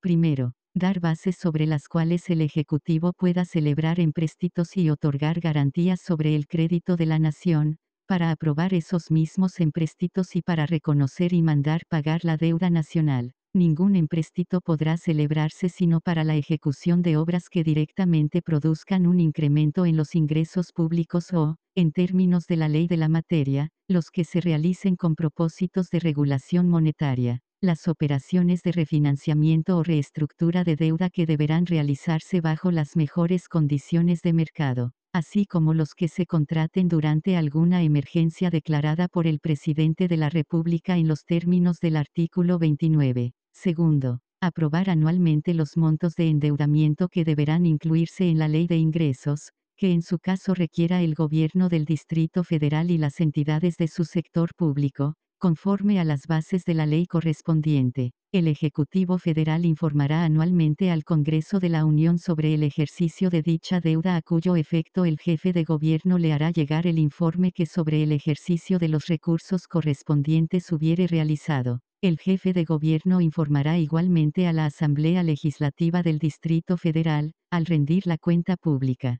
Tercero, establecer en las leyes las bases generales, para que los estados, el Distrito Federal y los municipios puedan incurrir en endeudamiento los límites y modalidades bajo los cuales dichos órdenes de gobierno podrán afectar sus respectivas participaciones para cubrir los empréstitos y obligaciones de pago que contraigan. La obligación de dichos órdenes de gobierno de inscribir y publicar la totalidad de sus empréstitos y obligaciones de pago en un registro público único, de manera oportuna y transparente, un sistema de alertas sobre el manejo de la deuda así como las sanciones aplicables a los servidores públicos que no cumplan sus disposiciones. Dichas leyes deberán discutirse primero en la Cámara de Diputados conforme a lo dispuesto por la fracción H del artículo 72 de esta Constitución. Cuarto, el Congreso de la Unión, a través de la Comisión Legislativa Bicameral competente, analizará la estrategia de ajuste para fortalecer las finanzas públicas de los estados planteada en los convenios que pretendan celebrar con el gobierno federal para obtener garantías y, en su caso, emitirá las observaciones que estime pertinentes en un plazo máximo de 15 días hábiles, inclusive durante los periodos de receso del Congreso de la Unión. Lo anterior aplicará en el caso de los estados que tengan niveles elevados de deuda en los términos de la ley. Asimismo, de manera inmediata a la suscripción del convenio correspondiente, será informado de la estrategia de ajuste para los municipios que se encuentren en el mismo supuesto, así como de los convenios que, en su caso, celebren los estados que no tengan un nivel elevado de deuda. Reformada, DOF 29 de enero de 2016, 9, para impedir que en el comercio entre entidades federativas se establezcan restricciones. Reformada, DOF 20 de julio de 2007, X, para legislar en toda la República sobre hidrocarburos, minería, sustancias químicas, explosivos, pirotecnia, industria cinematográfica, comercio, juegos con apuestas y sorteos, intermediación y servicios financieros, energía eléctrica y nuclear y para expedir las leyes del trabajo reglamentarias del artículo 123. 11 para crear y suprimir empleos públicos de la Federación y señalar, aumentar o disminuir sus dotaciones. 12. Para declarar la guerra, en vista de los datos que le presente el Ejecutivo. Reformada, DOF 21 de octubre de 1966, F. DE, DOF 22 de octubre de 1966, 13, para dictar leyes según las cuales deben declararse buenas o malas las presas de mar y tierra, y para expedir leyes relativas al derecho marítimo de paz y guerra. Reformada, DOF 10 de febrero de 1944, 14, para levantar y sostener a las instituciones armadas de la Unión, a saber, Ejército, Marina de Guerra y Fuerza Aérea Nacionales, y para reglamentar su organización y servicio. 15, derogada, DOF 26 de marzo de 2019. Reformado primer párrafo, DOF 18 de enero de 1934, 16, para dictar leyes sobre nacionalidad, condición jurídica de los extranjeros, ciudadanía, naturalización, colonización, emigración e inmigración y salubridad general de la República. Primera, el Consejo de Salubridad General dependerá directamente del Presidente de la República, sin intervención de ninguna Secretaría de Estado, y sus disposiciones generales serán obligatorias en el país. Reformado, DOF 2 de agosto de 2007, segunda, en caso de epidemias de carácter grave o peligro de invasión de enfermedades exóticas en el país. La Secretaría de Salud tendrá obligación de dictar inmediatamente las medidas preventivas indispensables, a reserva de ser después sancionadas por el presidente de la República. Tercera, la autoridad sanitaria será ejecutiva y sus disposiciones serán obedecidas por las autoridades administrativas del país. Adicionada, N. D. Reformada, DOF 6 de julio de 1971. Cuarta, las medidas que el Consejo haya puesto en vigor en la campaña contra el alcoholismo y la venta de sustancias que envenenan al individuo o degeneran la especie humana así como las adoptadas para prevenir y combatir la contaminación ambiental, serán después revisadas por el Congreso de la Unión en los casos que le competan. Reformada, DOF 11 de junio de 2013, 17, para dictar leyes sobre vías generales de comunicación, tecnologías de la información y la comunicación, radiodifusión, telecomunicaciones, incluida la banda ancha e Internet, postas y correos y sobre el uso y aprovechamiento de las aguas de jurisdicción federal, reformada, DOF 17 de noviembre de 1982, 18, para establecer casas de moneda, fijar las condiciones que ésta deba tener, dictar reglas para determinar el valor relativo de la moneda extranjera y adoptar un sistema general de pesas y medidas. 19 para fijar las reglas a que debe sujetarse la ocupación y enajenación de terrenos baldíos y el precio de estos. 20. Para expedir las leyes de organización del cuerpo diplomático y del cuerpo consular mexicano. Reformada, DOF 8 de octubre de 2013. 21. Para expedir.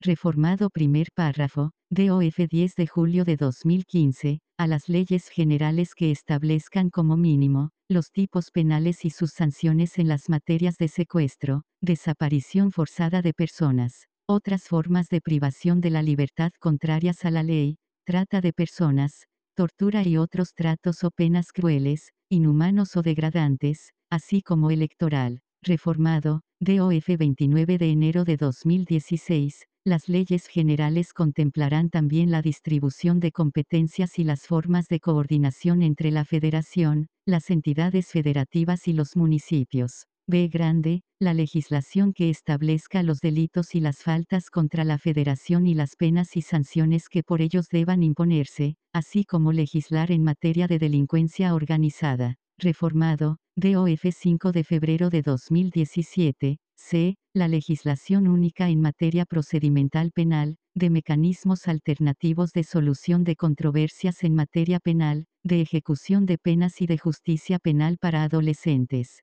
que regirá en la República en el orden federal y en el fuero común. Las autoridades federales podrán conocer de los delitos del fuero común, cuando estos tengan conexidad con delitos federales o delitos contra periodistas, personas o instalaciones que afecten limiten o menoscaben el derecho a la información o las libertades de expresión o imprenta. En las materias concurrentes previstas en esta Constitución, las leyes federales establecerán los supuestos en que las autoridades del fuero común podrán conocer y resolver sobre delitos federales. XXII, para conceder amnistías por delitos cuyo conocimiento pertenezca a los tribunales de la Federación reformada, DOF 26 de marzo de 2019, XXII, para expedir leyes que, con respeto a los derechos humanos, establezcan las bases de coordinación entre la Federación, las entidades federativas y los municipios organicen la Guardia Nacional y las demás instituciones de seguridad pública en materia federal, de conformidad con lo establecido en el artículo 21 de esta Constitución, así como la Ley Nacional sobre el Uso de la Fuerza, y la Ley Nacional del Registro de Detenciones, adicionada, N. D. con sus incisos, DOF 28 de mayo de 2021, XXII bis,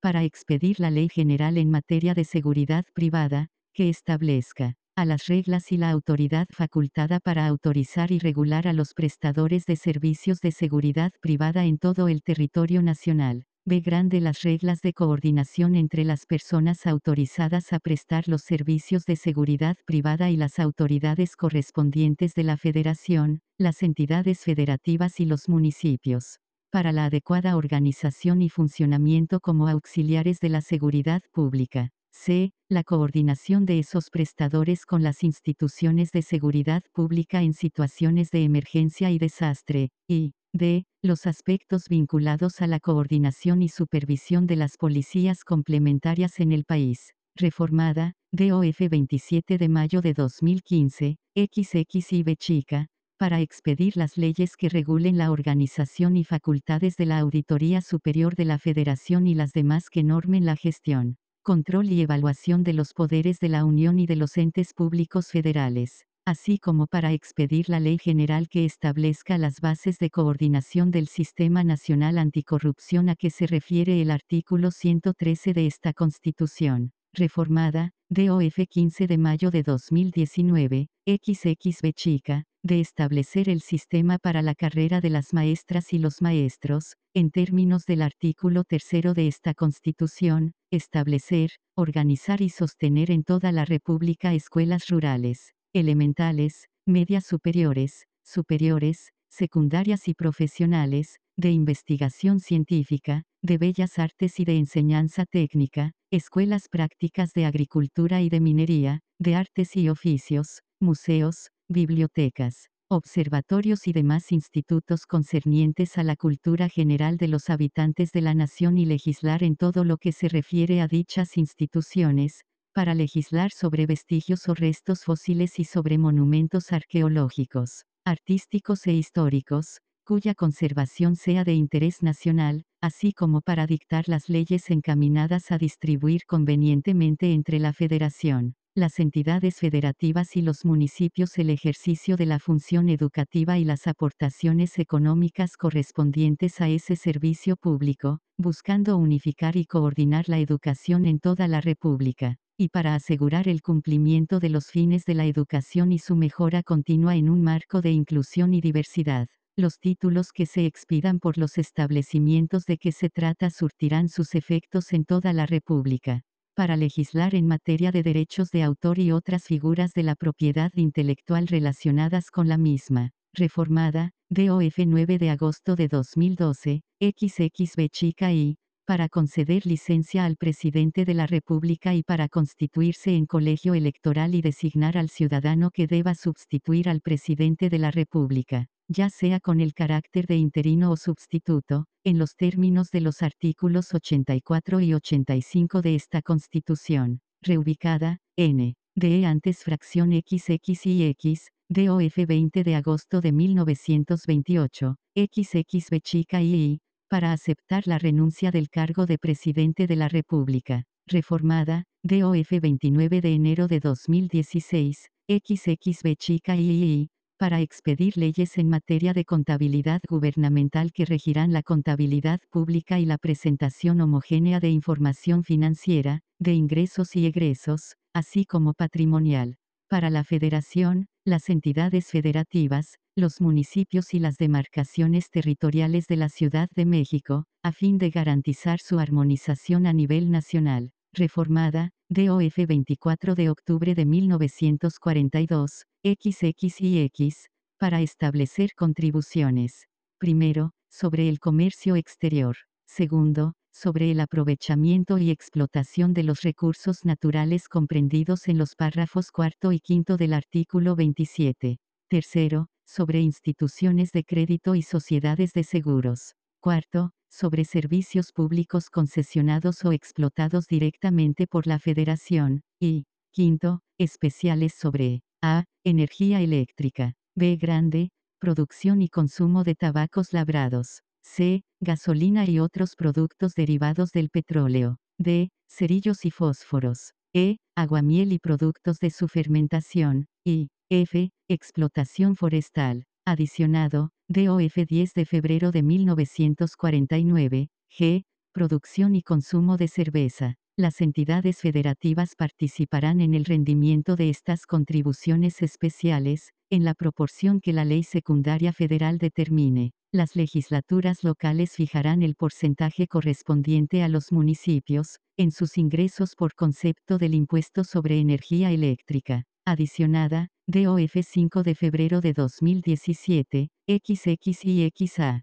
para expedir la ley general que establezca los principios y bases en materia de mecanismos alternativos de solución de controversias, con excepción de la materia penal, adicionada, DOF 24 de octubre de 1967, XX y grande, para legislar sobre las características y uso de la bandera, escudo e himno nacionales. Reformada, DOF 18 de diciembre de 2020, XX y XC, para expedir las leyes que establezcan la concurrencia del gobierno federal, de las entidades federativas, de los municipios y, en su caso, de las demarcaciones territoriales de la Ciudad de México, en el ámbito de sus respectivas competencias, en materia de asentamientos humanos, con objeto de cumplir los fines previstos en el párrafo tercero del artículo 27 de esta Constitución, así como en materia de movilidad y seguridad vial, reformada, DOF 7 de abril de 2006, XX y XD,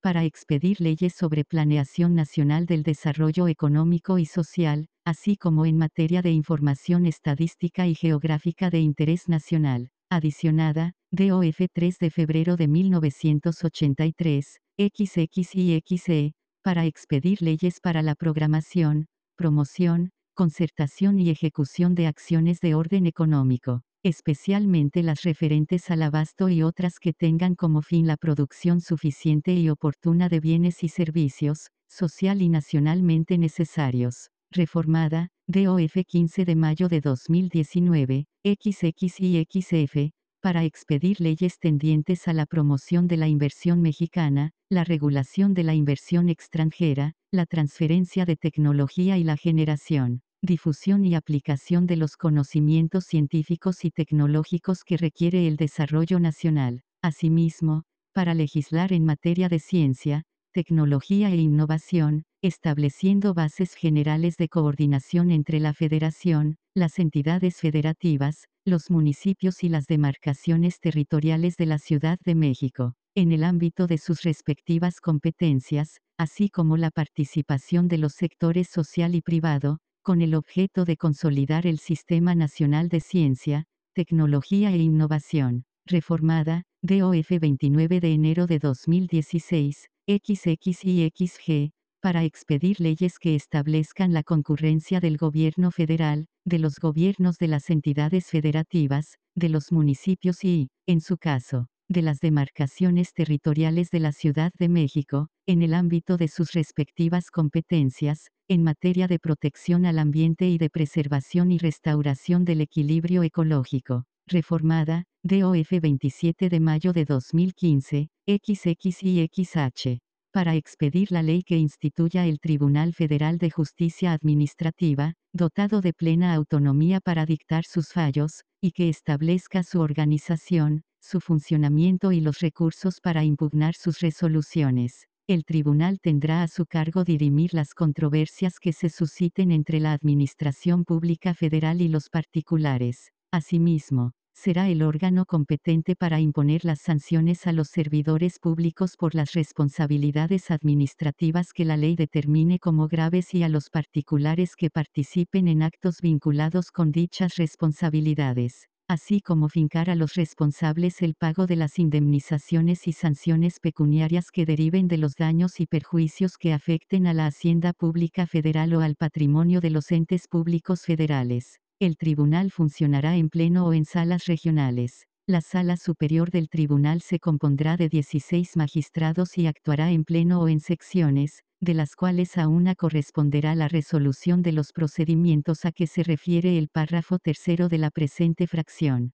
Los magistrados de la Sala Superior serán designados por el Presidente de la República y ratificados por el voto de las dos terceras partes de los miembros presentes del Senado de la República o, en sus recesos, por la Comisión Permanente. Durarán en su encargo 15 años improrrogables. Los magistrados de sala regional serán designados por el presidente de la República y ratificados por mayoría de los miembros presentes del Senado de la República o, en sus recesos, por la Comisión Permanente. durarán en su encargo 10 años pudiendo ser considerados para nuevos nombramientos. Los magistrados solo podrán ser removidos de sus cargos por las causas graves que señale la ley. Reformada, DOF 29 de enero de 2016, XXIXI, para expedir leyes que establezcan las bases sobre las cuales la federación, las entidades federativas, los municipios y, en su caso, las demarcaciones territoriales de la Ciudad de México, en el ámbito de sus respectivas competencias,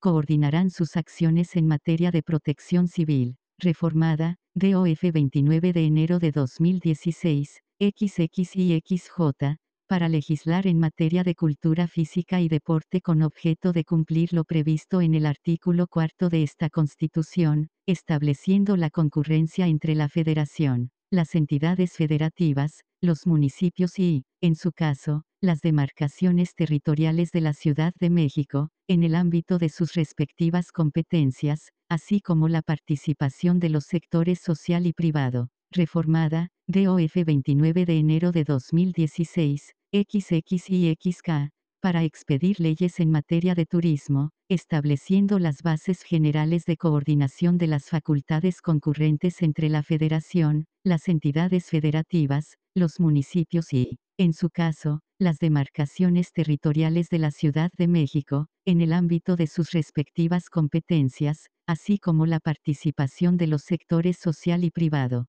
Adicionada, DOF 27 de septiembre de 2004, XXIXL, para expedir leyes que establezcan la concurrencia del gobierno federal, de los gobiernos de las entidades federativas y de los municipios, en el ámbito de sus respectivas competencias en materia de pesca y acuacultura, así como la participación de los sectores social y privado, y, adicionada, DOF 5 de abril de 2004, XXIXM, para expedir leyes en materia de seguridad nacional, estableciendo los requisitos y límites a las investigaciones correspondientes. Reformada, DOF 29 de enero de 2016, XXIXN, para expedir leyes en materia de constitución, organización, funcionamiento y extinción de las sociedades cooperativas. Estas leyes establecerán las bases para la concurrencia en materia de fomento y desarrollo sustentable de la actividad cooperativa de la Federación, entidades federativas, municipios y, en su caso, demarcaciones territoriales de la Ciudad de México,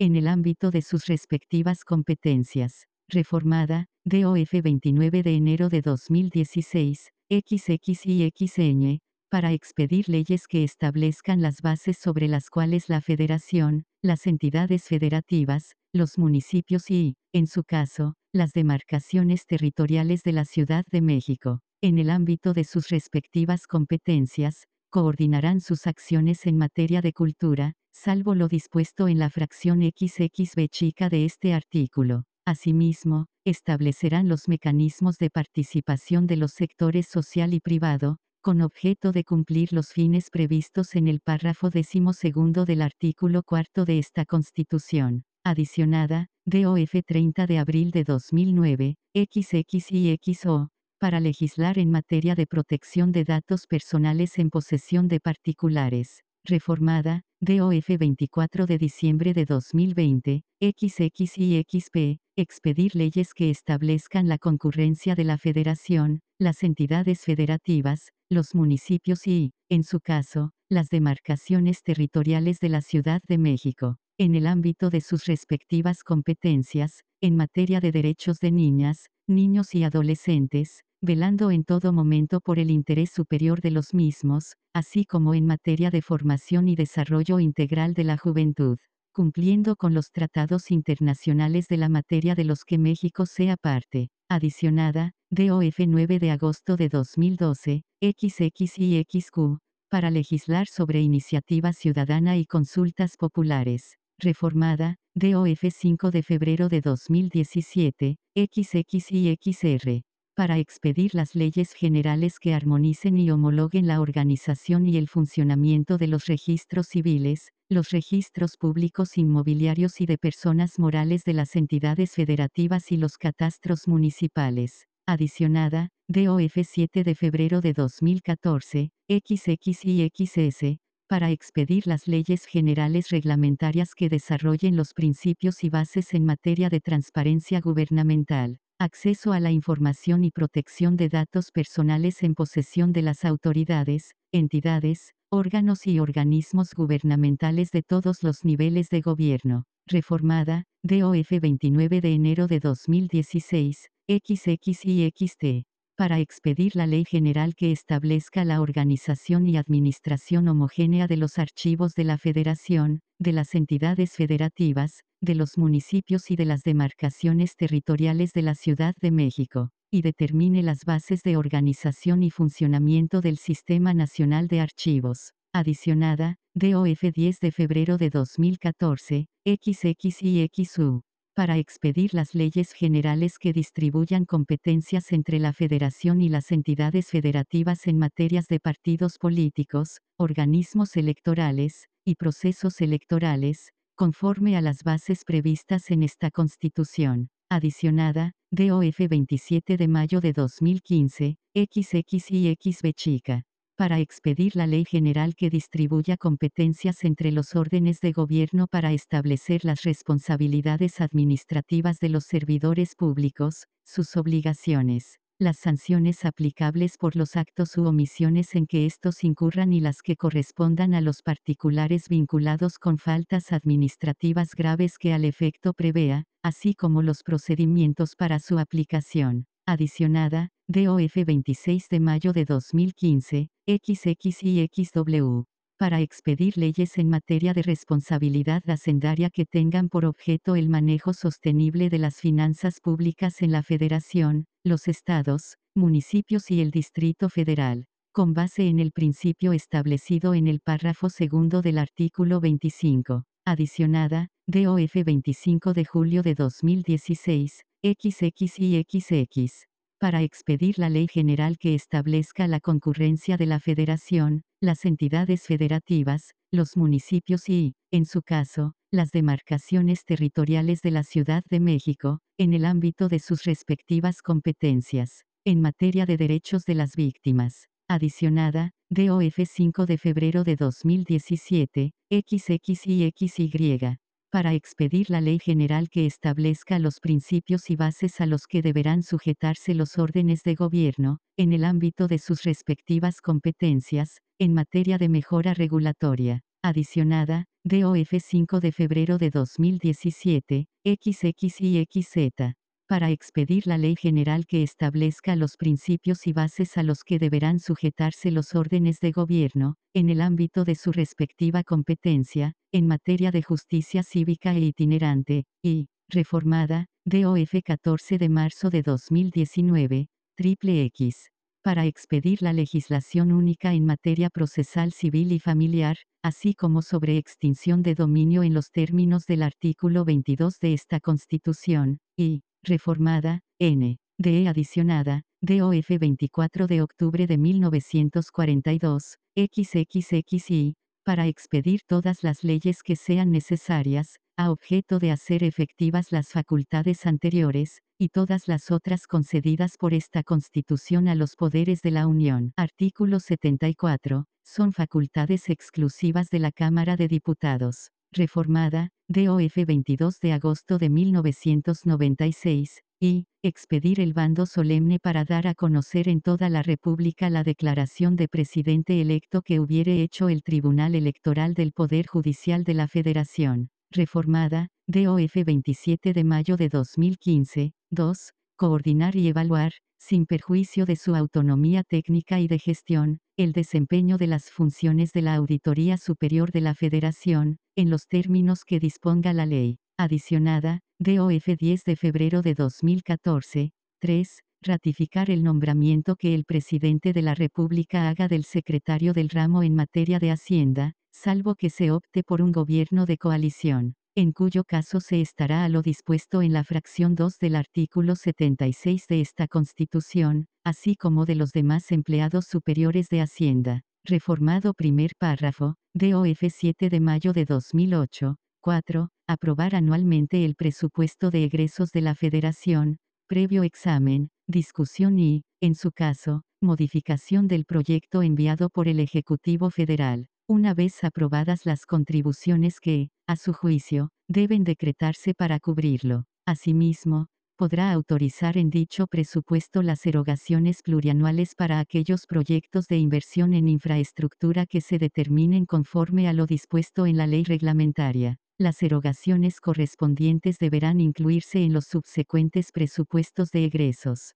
Reformado, DOF 30 de julio de 2004, el Ejecutivo Federal hará llegar a la Cámara la iniciativa de ley de ingresos y el proyecto de presupuesto de egresos de la Federación a más tardar el día 8 del mes de septiembre, debiendo comparecer el secretario de despacho correspondiente a dar cuenta de los mismos. La Cámara de Diputados deberá aprobar el presupuesto de egresos de la Federación a más tardar el día 15 del mes de noviembre reformado, DOF 10 de febrero de 2014, cuando inicie su encargo en la fecha prevista por el artículo 83. El Ejecutivo Federal hará llegar a la Cámara la iniciativa de ley de ingresos y el proyecto de presupuesto de egresos de la Federación a más tardar el día 15 del mes de noviembre. Reformada, DOF 17 de mayo de 2021, no podrá haber partidas secretas en el presupuesto de egresos de la Federación. Reformado, DOF 7 de mayo de 2008, solo se podrá ampliar el plazo de presentación de la iniciativa de ley de ingresos y del proyecto de presupuesto de egresos, cuando medie solicitud del Ejecutivo suficientemente justificada a juicio de la Cámara o de la Comisión Permanente, debiendo comparecer en todo caso el secretario del despacho correspondiente a informar de las razones que lo motiven. Reformada, DOF 28 de diciembre de 1982, B chica, declarar si ha o no lugar a proceder penalmente contra los servidores públicos que hubieren incurrido en delito en los términos del artículo 111 de esta Constitución. Conocer de las imputaciones que se hagan a los servidores públicos a que se refiere el artículo 110 de esta Constitución y fungir como órgano de acusación en los juicios políticos que contra estos se instauren. Adicionada, DOF 7 de mayo de 2008. 6. Revisar la cuenta pública del año anterior, con el objeto de evaluar los resultados de la gestión financiera, comprobar si se ha ajustado a los criterios señalados por el presupuesto y verificar el cumplimiento de los objetivos contenidos en los programas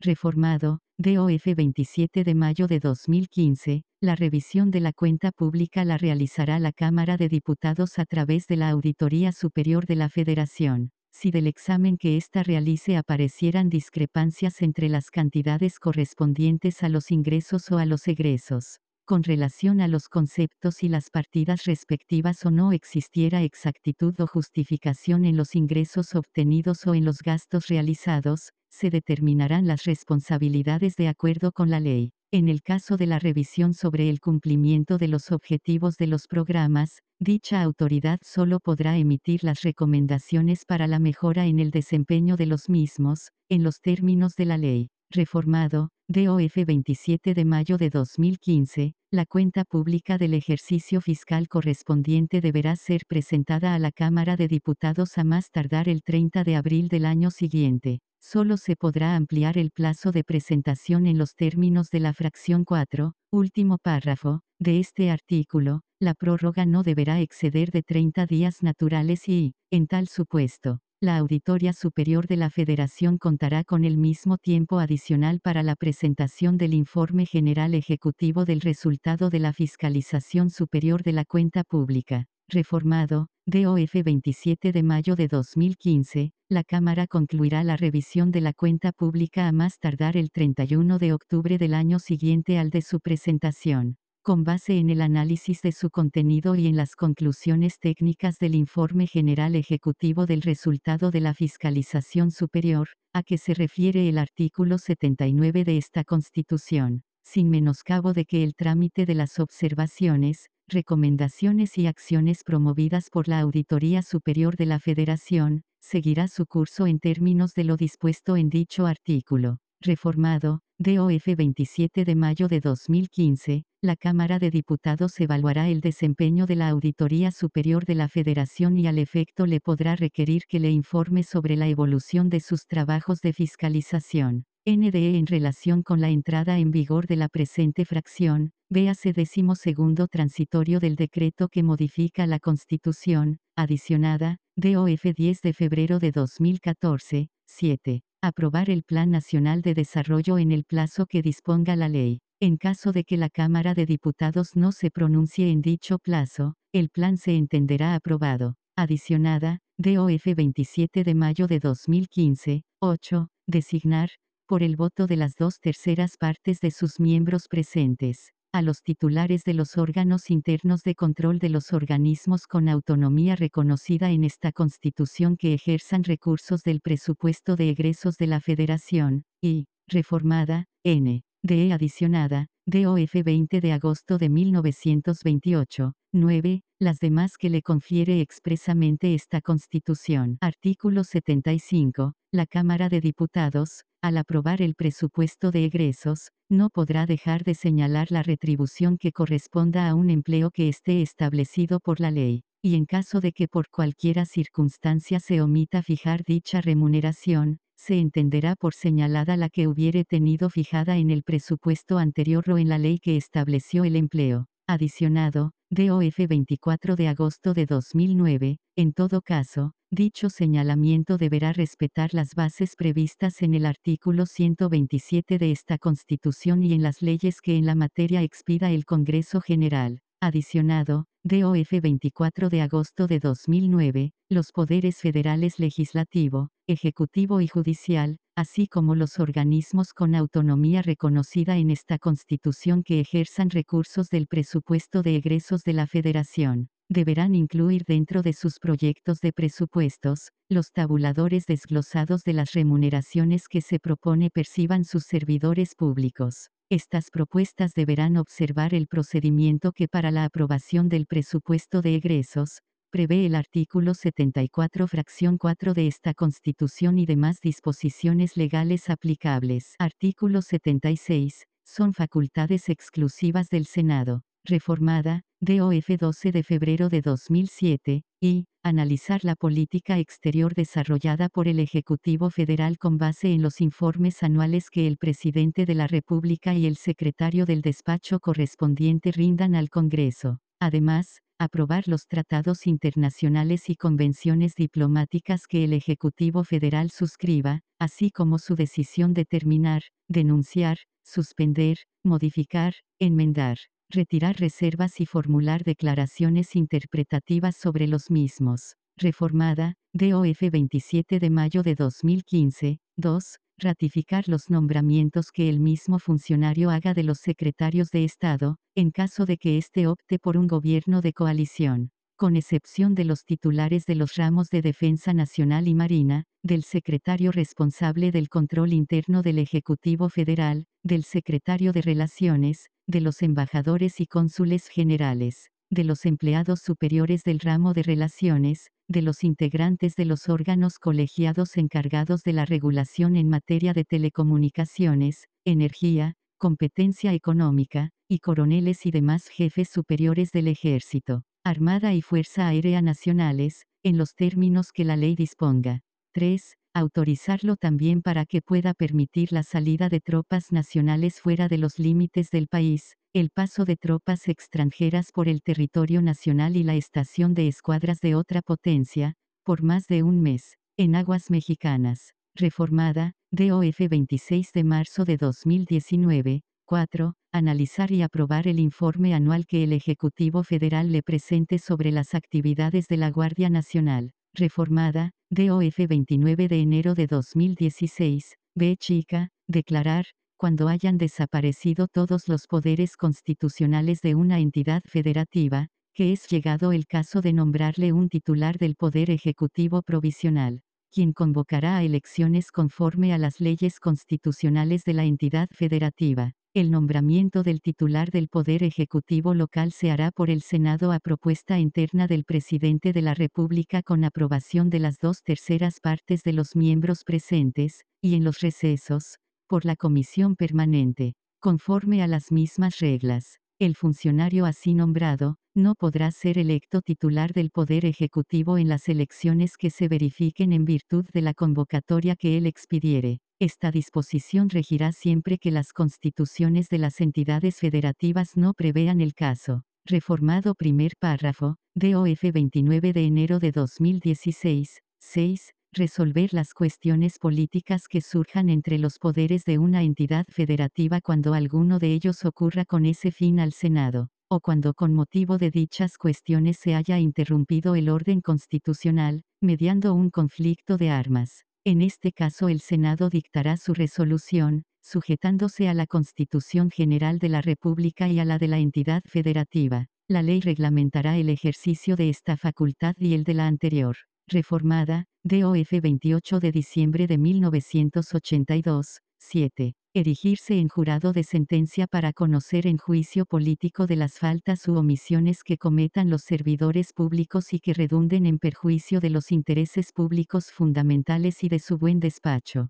en los términos del artículo 110 de esta Constitución, reformada, DOF 31 de diciembre de 1994, 8, designar a los ministros de la Suprema Corte de Justicia de la Nación, de entre la terna que someta a su consideración el presidente de la República, así como otorgar o negar su aprobación a las solicitudes de licencia o renuncia de los mismos, que le someta dicho funcionario. 9. Derogada, DOF 29 de enero de 2016. Adicionada, DOF 8 de diciembre de 2005, X, autorizar mediante decreto aprobado por el voto de las dos terceras partes de los individuos presentes, los convenios amistosos que sobre sus respectivos límites celebren las entidades federativas. Reformada, DOF 26 de marzo de 2019, 11. Analizar y aprobar la Estrategia Nacional de Seguridad Pública, en el plazo que disponga la ley,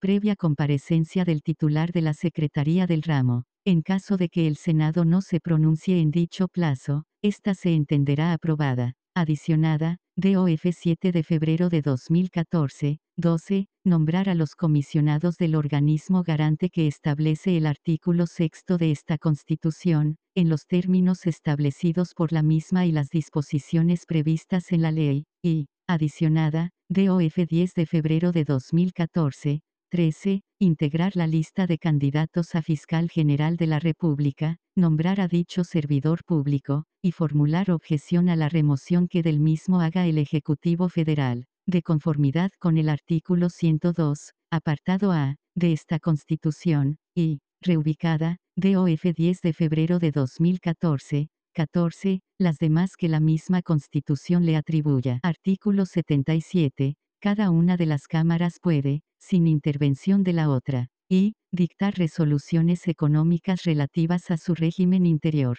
2. Comunicarse en la Cámara colegisladora y con el Ejecutivo de la Unión, por medio de comisiones de su seno. 3. Nombrar los empleados de su secretaría y hacer el reglamento interior de la misma reformada, DOF 29 de octubre de 2003, 4. Expedir convocatoria, dentro del término de 30 días a partir de que ocurra la vacante, para elecciones extraordinarias que deberán celebrarse dentro de los 90 días siguientes, con el fin de cubrir las vacantes de sus miembros a que se refiere el artículo 63 de esta Constitución, en el caso de vacantes de diputados y senadores del Congreso de la Unión por el principio de mayoría relativa salvo que la vacante ocurra dentro del año final del ejercicio del legislador correspondiente. Sección 4. De la Comisión Permanente. Reformado, DOF 10 de agosto de 1987, artículo 78. Durante los recesos del Congreso de la Unión habrá una comisión permanente compuesta de 37 miembros de los que 19 serán diputados y 18 senadores nombrados por sus respectivas cámaras la víspera de la clausura de los periodos ordinarios de sesiones.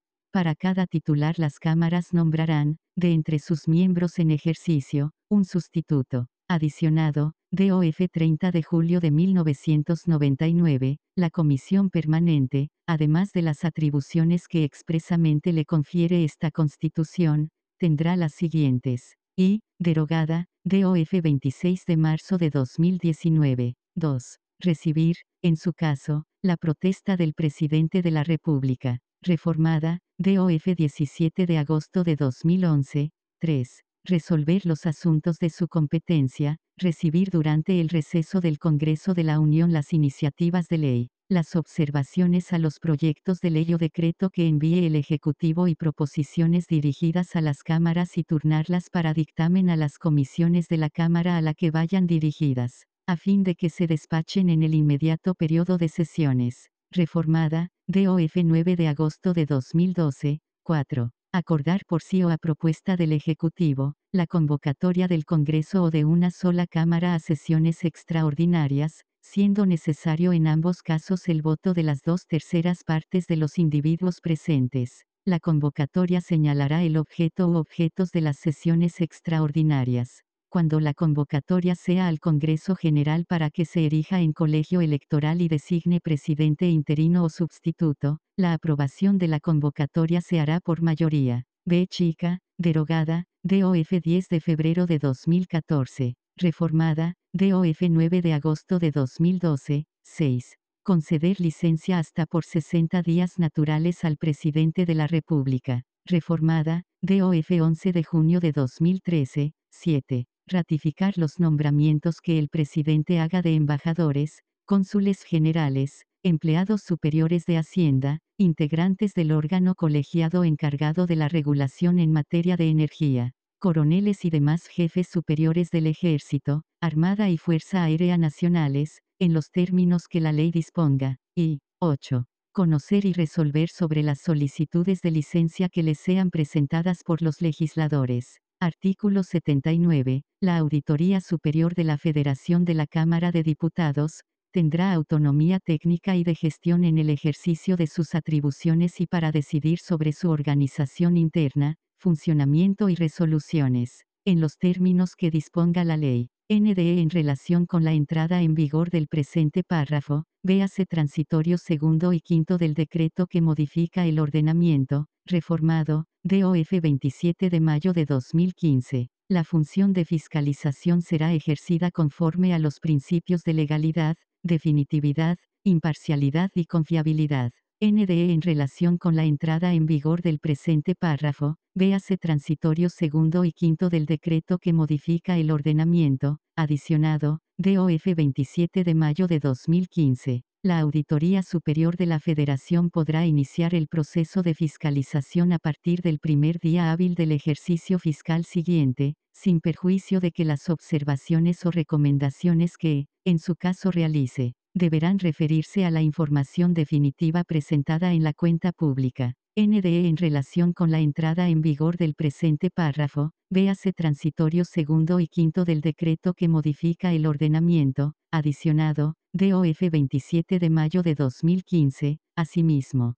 Por lo que corresponde a los trabajos de planeación de las auditorías, la Auditoría Superior de la Federación podrá solicitar información del ejercicio en curso, respecto de procesos concluidos. NDE en relación con la entrada en vigor del presente párrafo, véase transitorio segundo y quinto del decreto que modifica el ordenamiento, reformado primer párrafo, DOF 27 de mayo de 2015. La Auditoría Superior de la Federación tendrá a su cargo, reformado primer párrafo, DOF 26 de mayo de 2015, y fiscalizar en forma posterior los ingresos, egresos y deuda, las garantías que, en su caso, otorgue el gobierno federal respecto a empréstitos de los estados y municipios, el manejo, la custodia y la aplicación de fondos y recursos de los poderes de la Unión y de los entes públicos federales, así como realizar auditorías sobre el desempeño en el cumplimiento de los objetivos contenidos en los programas federales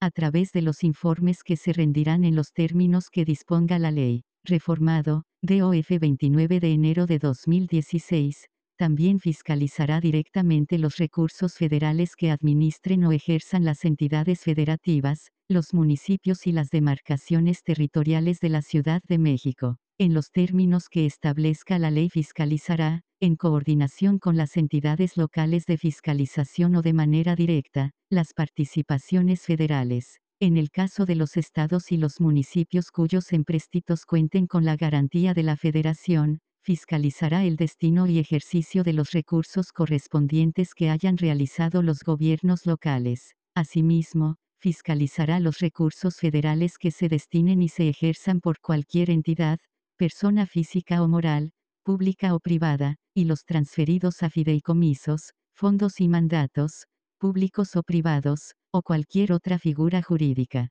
de conformidad con los procedimientos establecidos en las leyes y sin perjuicio de la competencia de otras autoridades y de los derechos de los usuarios del sistema financiero. Reformado, DOF 7 de mayo de 2008, las entidades fiscalizadas a que se refiere el párrafo anterior deberán llevar el control y registro contable, patrimonial y presupuestario de los recursos de la federación que les sean transferidos y asignados, de acuerdo con los criterios que establezca la ley. NDE en relación con la entrada en vigor del presente párrafo, véase transitorio segundo y quinto del decreto que modifica el ordenamiento, reformado, DOF 27 de mayo de 2015. La Auditoría Superior de la Federación podrá solicitar y revisar, de manera casuística y concreta, información de ejercicios anteriores al de la cuenta pública en revisión, sin que por este motivo se entienda, para todos los efectos legales, abierta nuevamente la cuenta pública del ejercicio al que pertenece la información solicitada, exclusivamente cuando el programa, proyecto o la erogación, contenidos en el presupuesto en revisión abarque para su ejecución y pago diversos ejercicios fiscales o se trate de revisiones sobre el cumplimiento de los objetivos de los programas federales. Las observaciones y recomendaciones que, respectivamente, la Auditoría Superior de la Federación emita, solo podrán referirse al ejercicio de los recursos públicos de la cuenta pública en revisión. NDE en relación con la entrada en vigor del presente párrafo, véase transitorio segundo y quinto del decreto que modifica el ordenamiento, reformado, DOF 27 de mayo de 2015, sin perjuicio de lo previsto en el párrafo anterior. En las situaciones que determine la ley, derivado de denuncias, la Auditoría Superior de la Federación, previa autorización de su titular, podrá revisar durante el ejercicio fiscal en curso a las entidades fiscalizadas, así como respecto de ejercicios anteriores. Las entidades fiscalizadas proporcionarán la información que se solicite para la revisión, en los plazos y términos señalados por la ley y, en caso de incumplimiento, serán aplicables las sanciones previstas en la misma. La Auditoría Superior de la Federación rendirá un informe específico a la Cámara de Diputados y, en su caso, promoverá las acciones que correspondan ante el Tribunal Federal de Justicia Administrativa la Fiscalía especializada en combate a la corrupción o las autoridades competentes. NDE en relación con la entrada en vigor de la presente fracción, véase transitorio segundo y quinto del decreto que modifica el ordenamiento, reformada,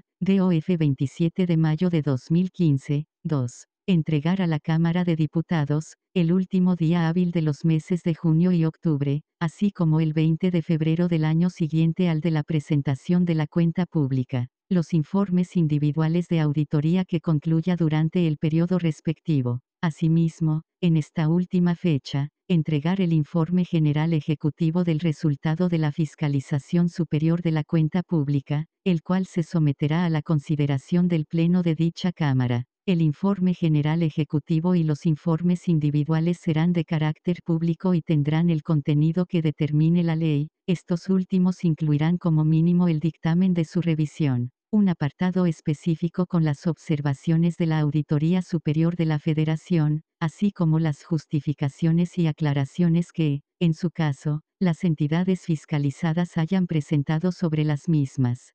Para tal efecto, de manera previa a la presentación del informe general ejecutivo y de los informes individuales de auditoría, se darán a conocer a las entidades fiscalizadas la parte que les corresponda de los resultados de su revisión a efecto de que éstas presenten las justificaciones y aclaraciones que correspondan, las cuales deberán ser valoradas por la Auditoría Superior de la Federación para la elaboración de los informes individuales de auditoría. El titular de la Auditoría Superior de la Federación enviará a las entidades fiscalizadas los informes individuales de auditoría que les corresponda a más tardar a los 10 días hábiles posteriores a que haya sido entregado el informe individual de auditoría respectivo a la Cámara de Diputados, mismos que contendrán las recomendaciones y acciones que correspondan para que, en un plazo de hasta 30 días hábiles, presenten la información y realicen las consideraciones que estimen pertinentes, en caso de no hacerlo se harán acreedores a las sanciones establecidas en ley. Lo anterior,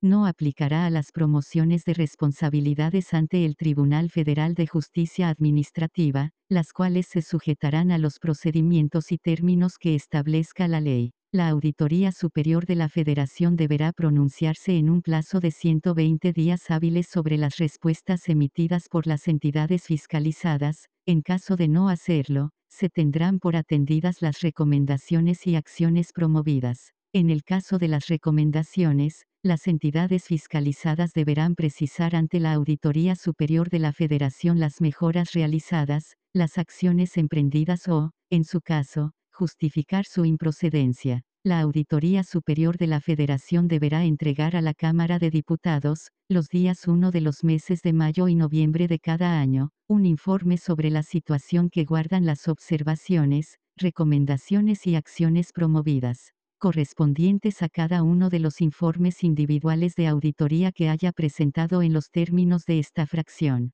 En dicho informe, el cual tendrá carácter público, la auditoría incluirá los montos efectivamente resarcidos a la Hacienda Pública Federal o al patrimonio de los entes públicos federales, como consecuencia de sus acciones de fiscalización, las denuncias penales presentadas y los procedimientos iniciados ante el Tribunal Federal de Justicia Administrativa la Auditoría Superior de la Federación deberá guardar reserva de sus actuaciones y observaciones hasta que rinda los informes individuales de auditoría y el informe general ejecutivo a la Cámara de Diputados a que se refiere esta fracción. La ley establecerá las sanciones aplicables a quienes infrinjan esta disposición. Reformada, DOF 30 de julio de 1999. 3 investigar los actos u omisiones que impliquen alguna irregularidad o conducta ilícita en el ingreso, egreso, manejo, custodia y aplicación de fondos y recursos federales, y efectuar visitas domiciliarias,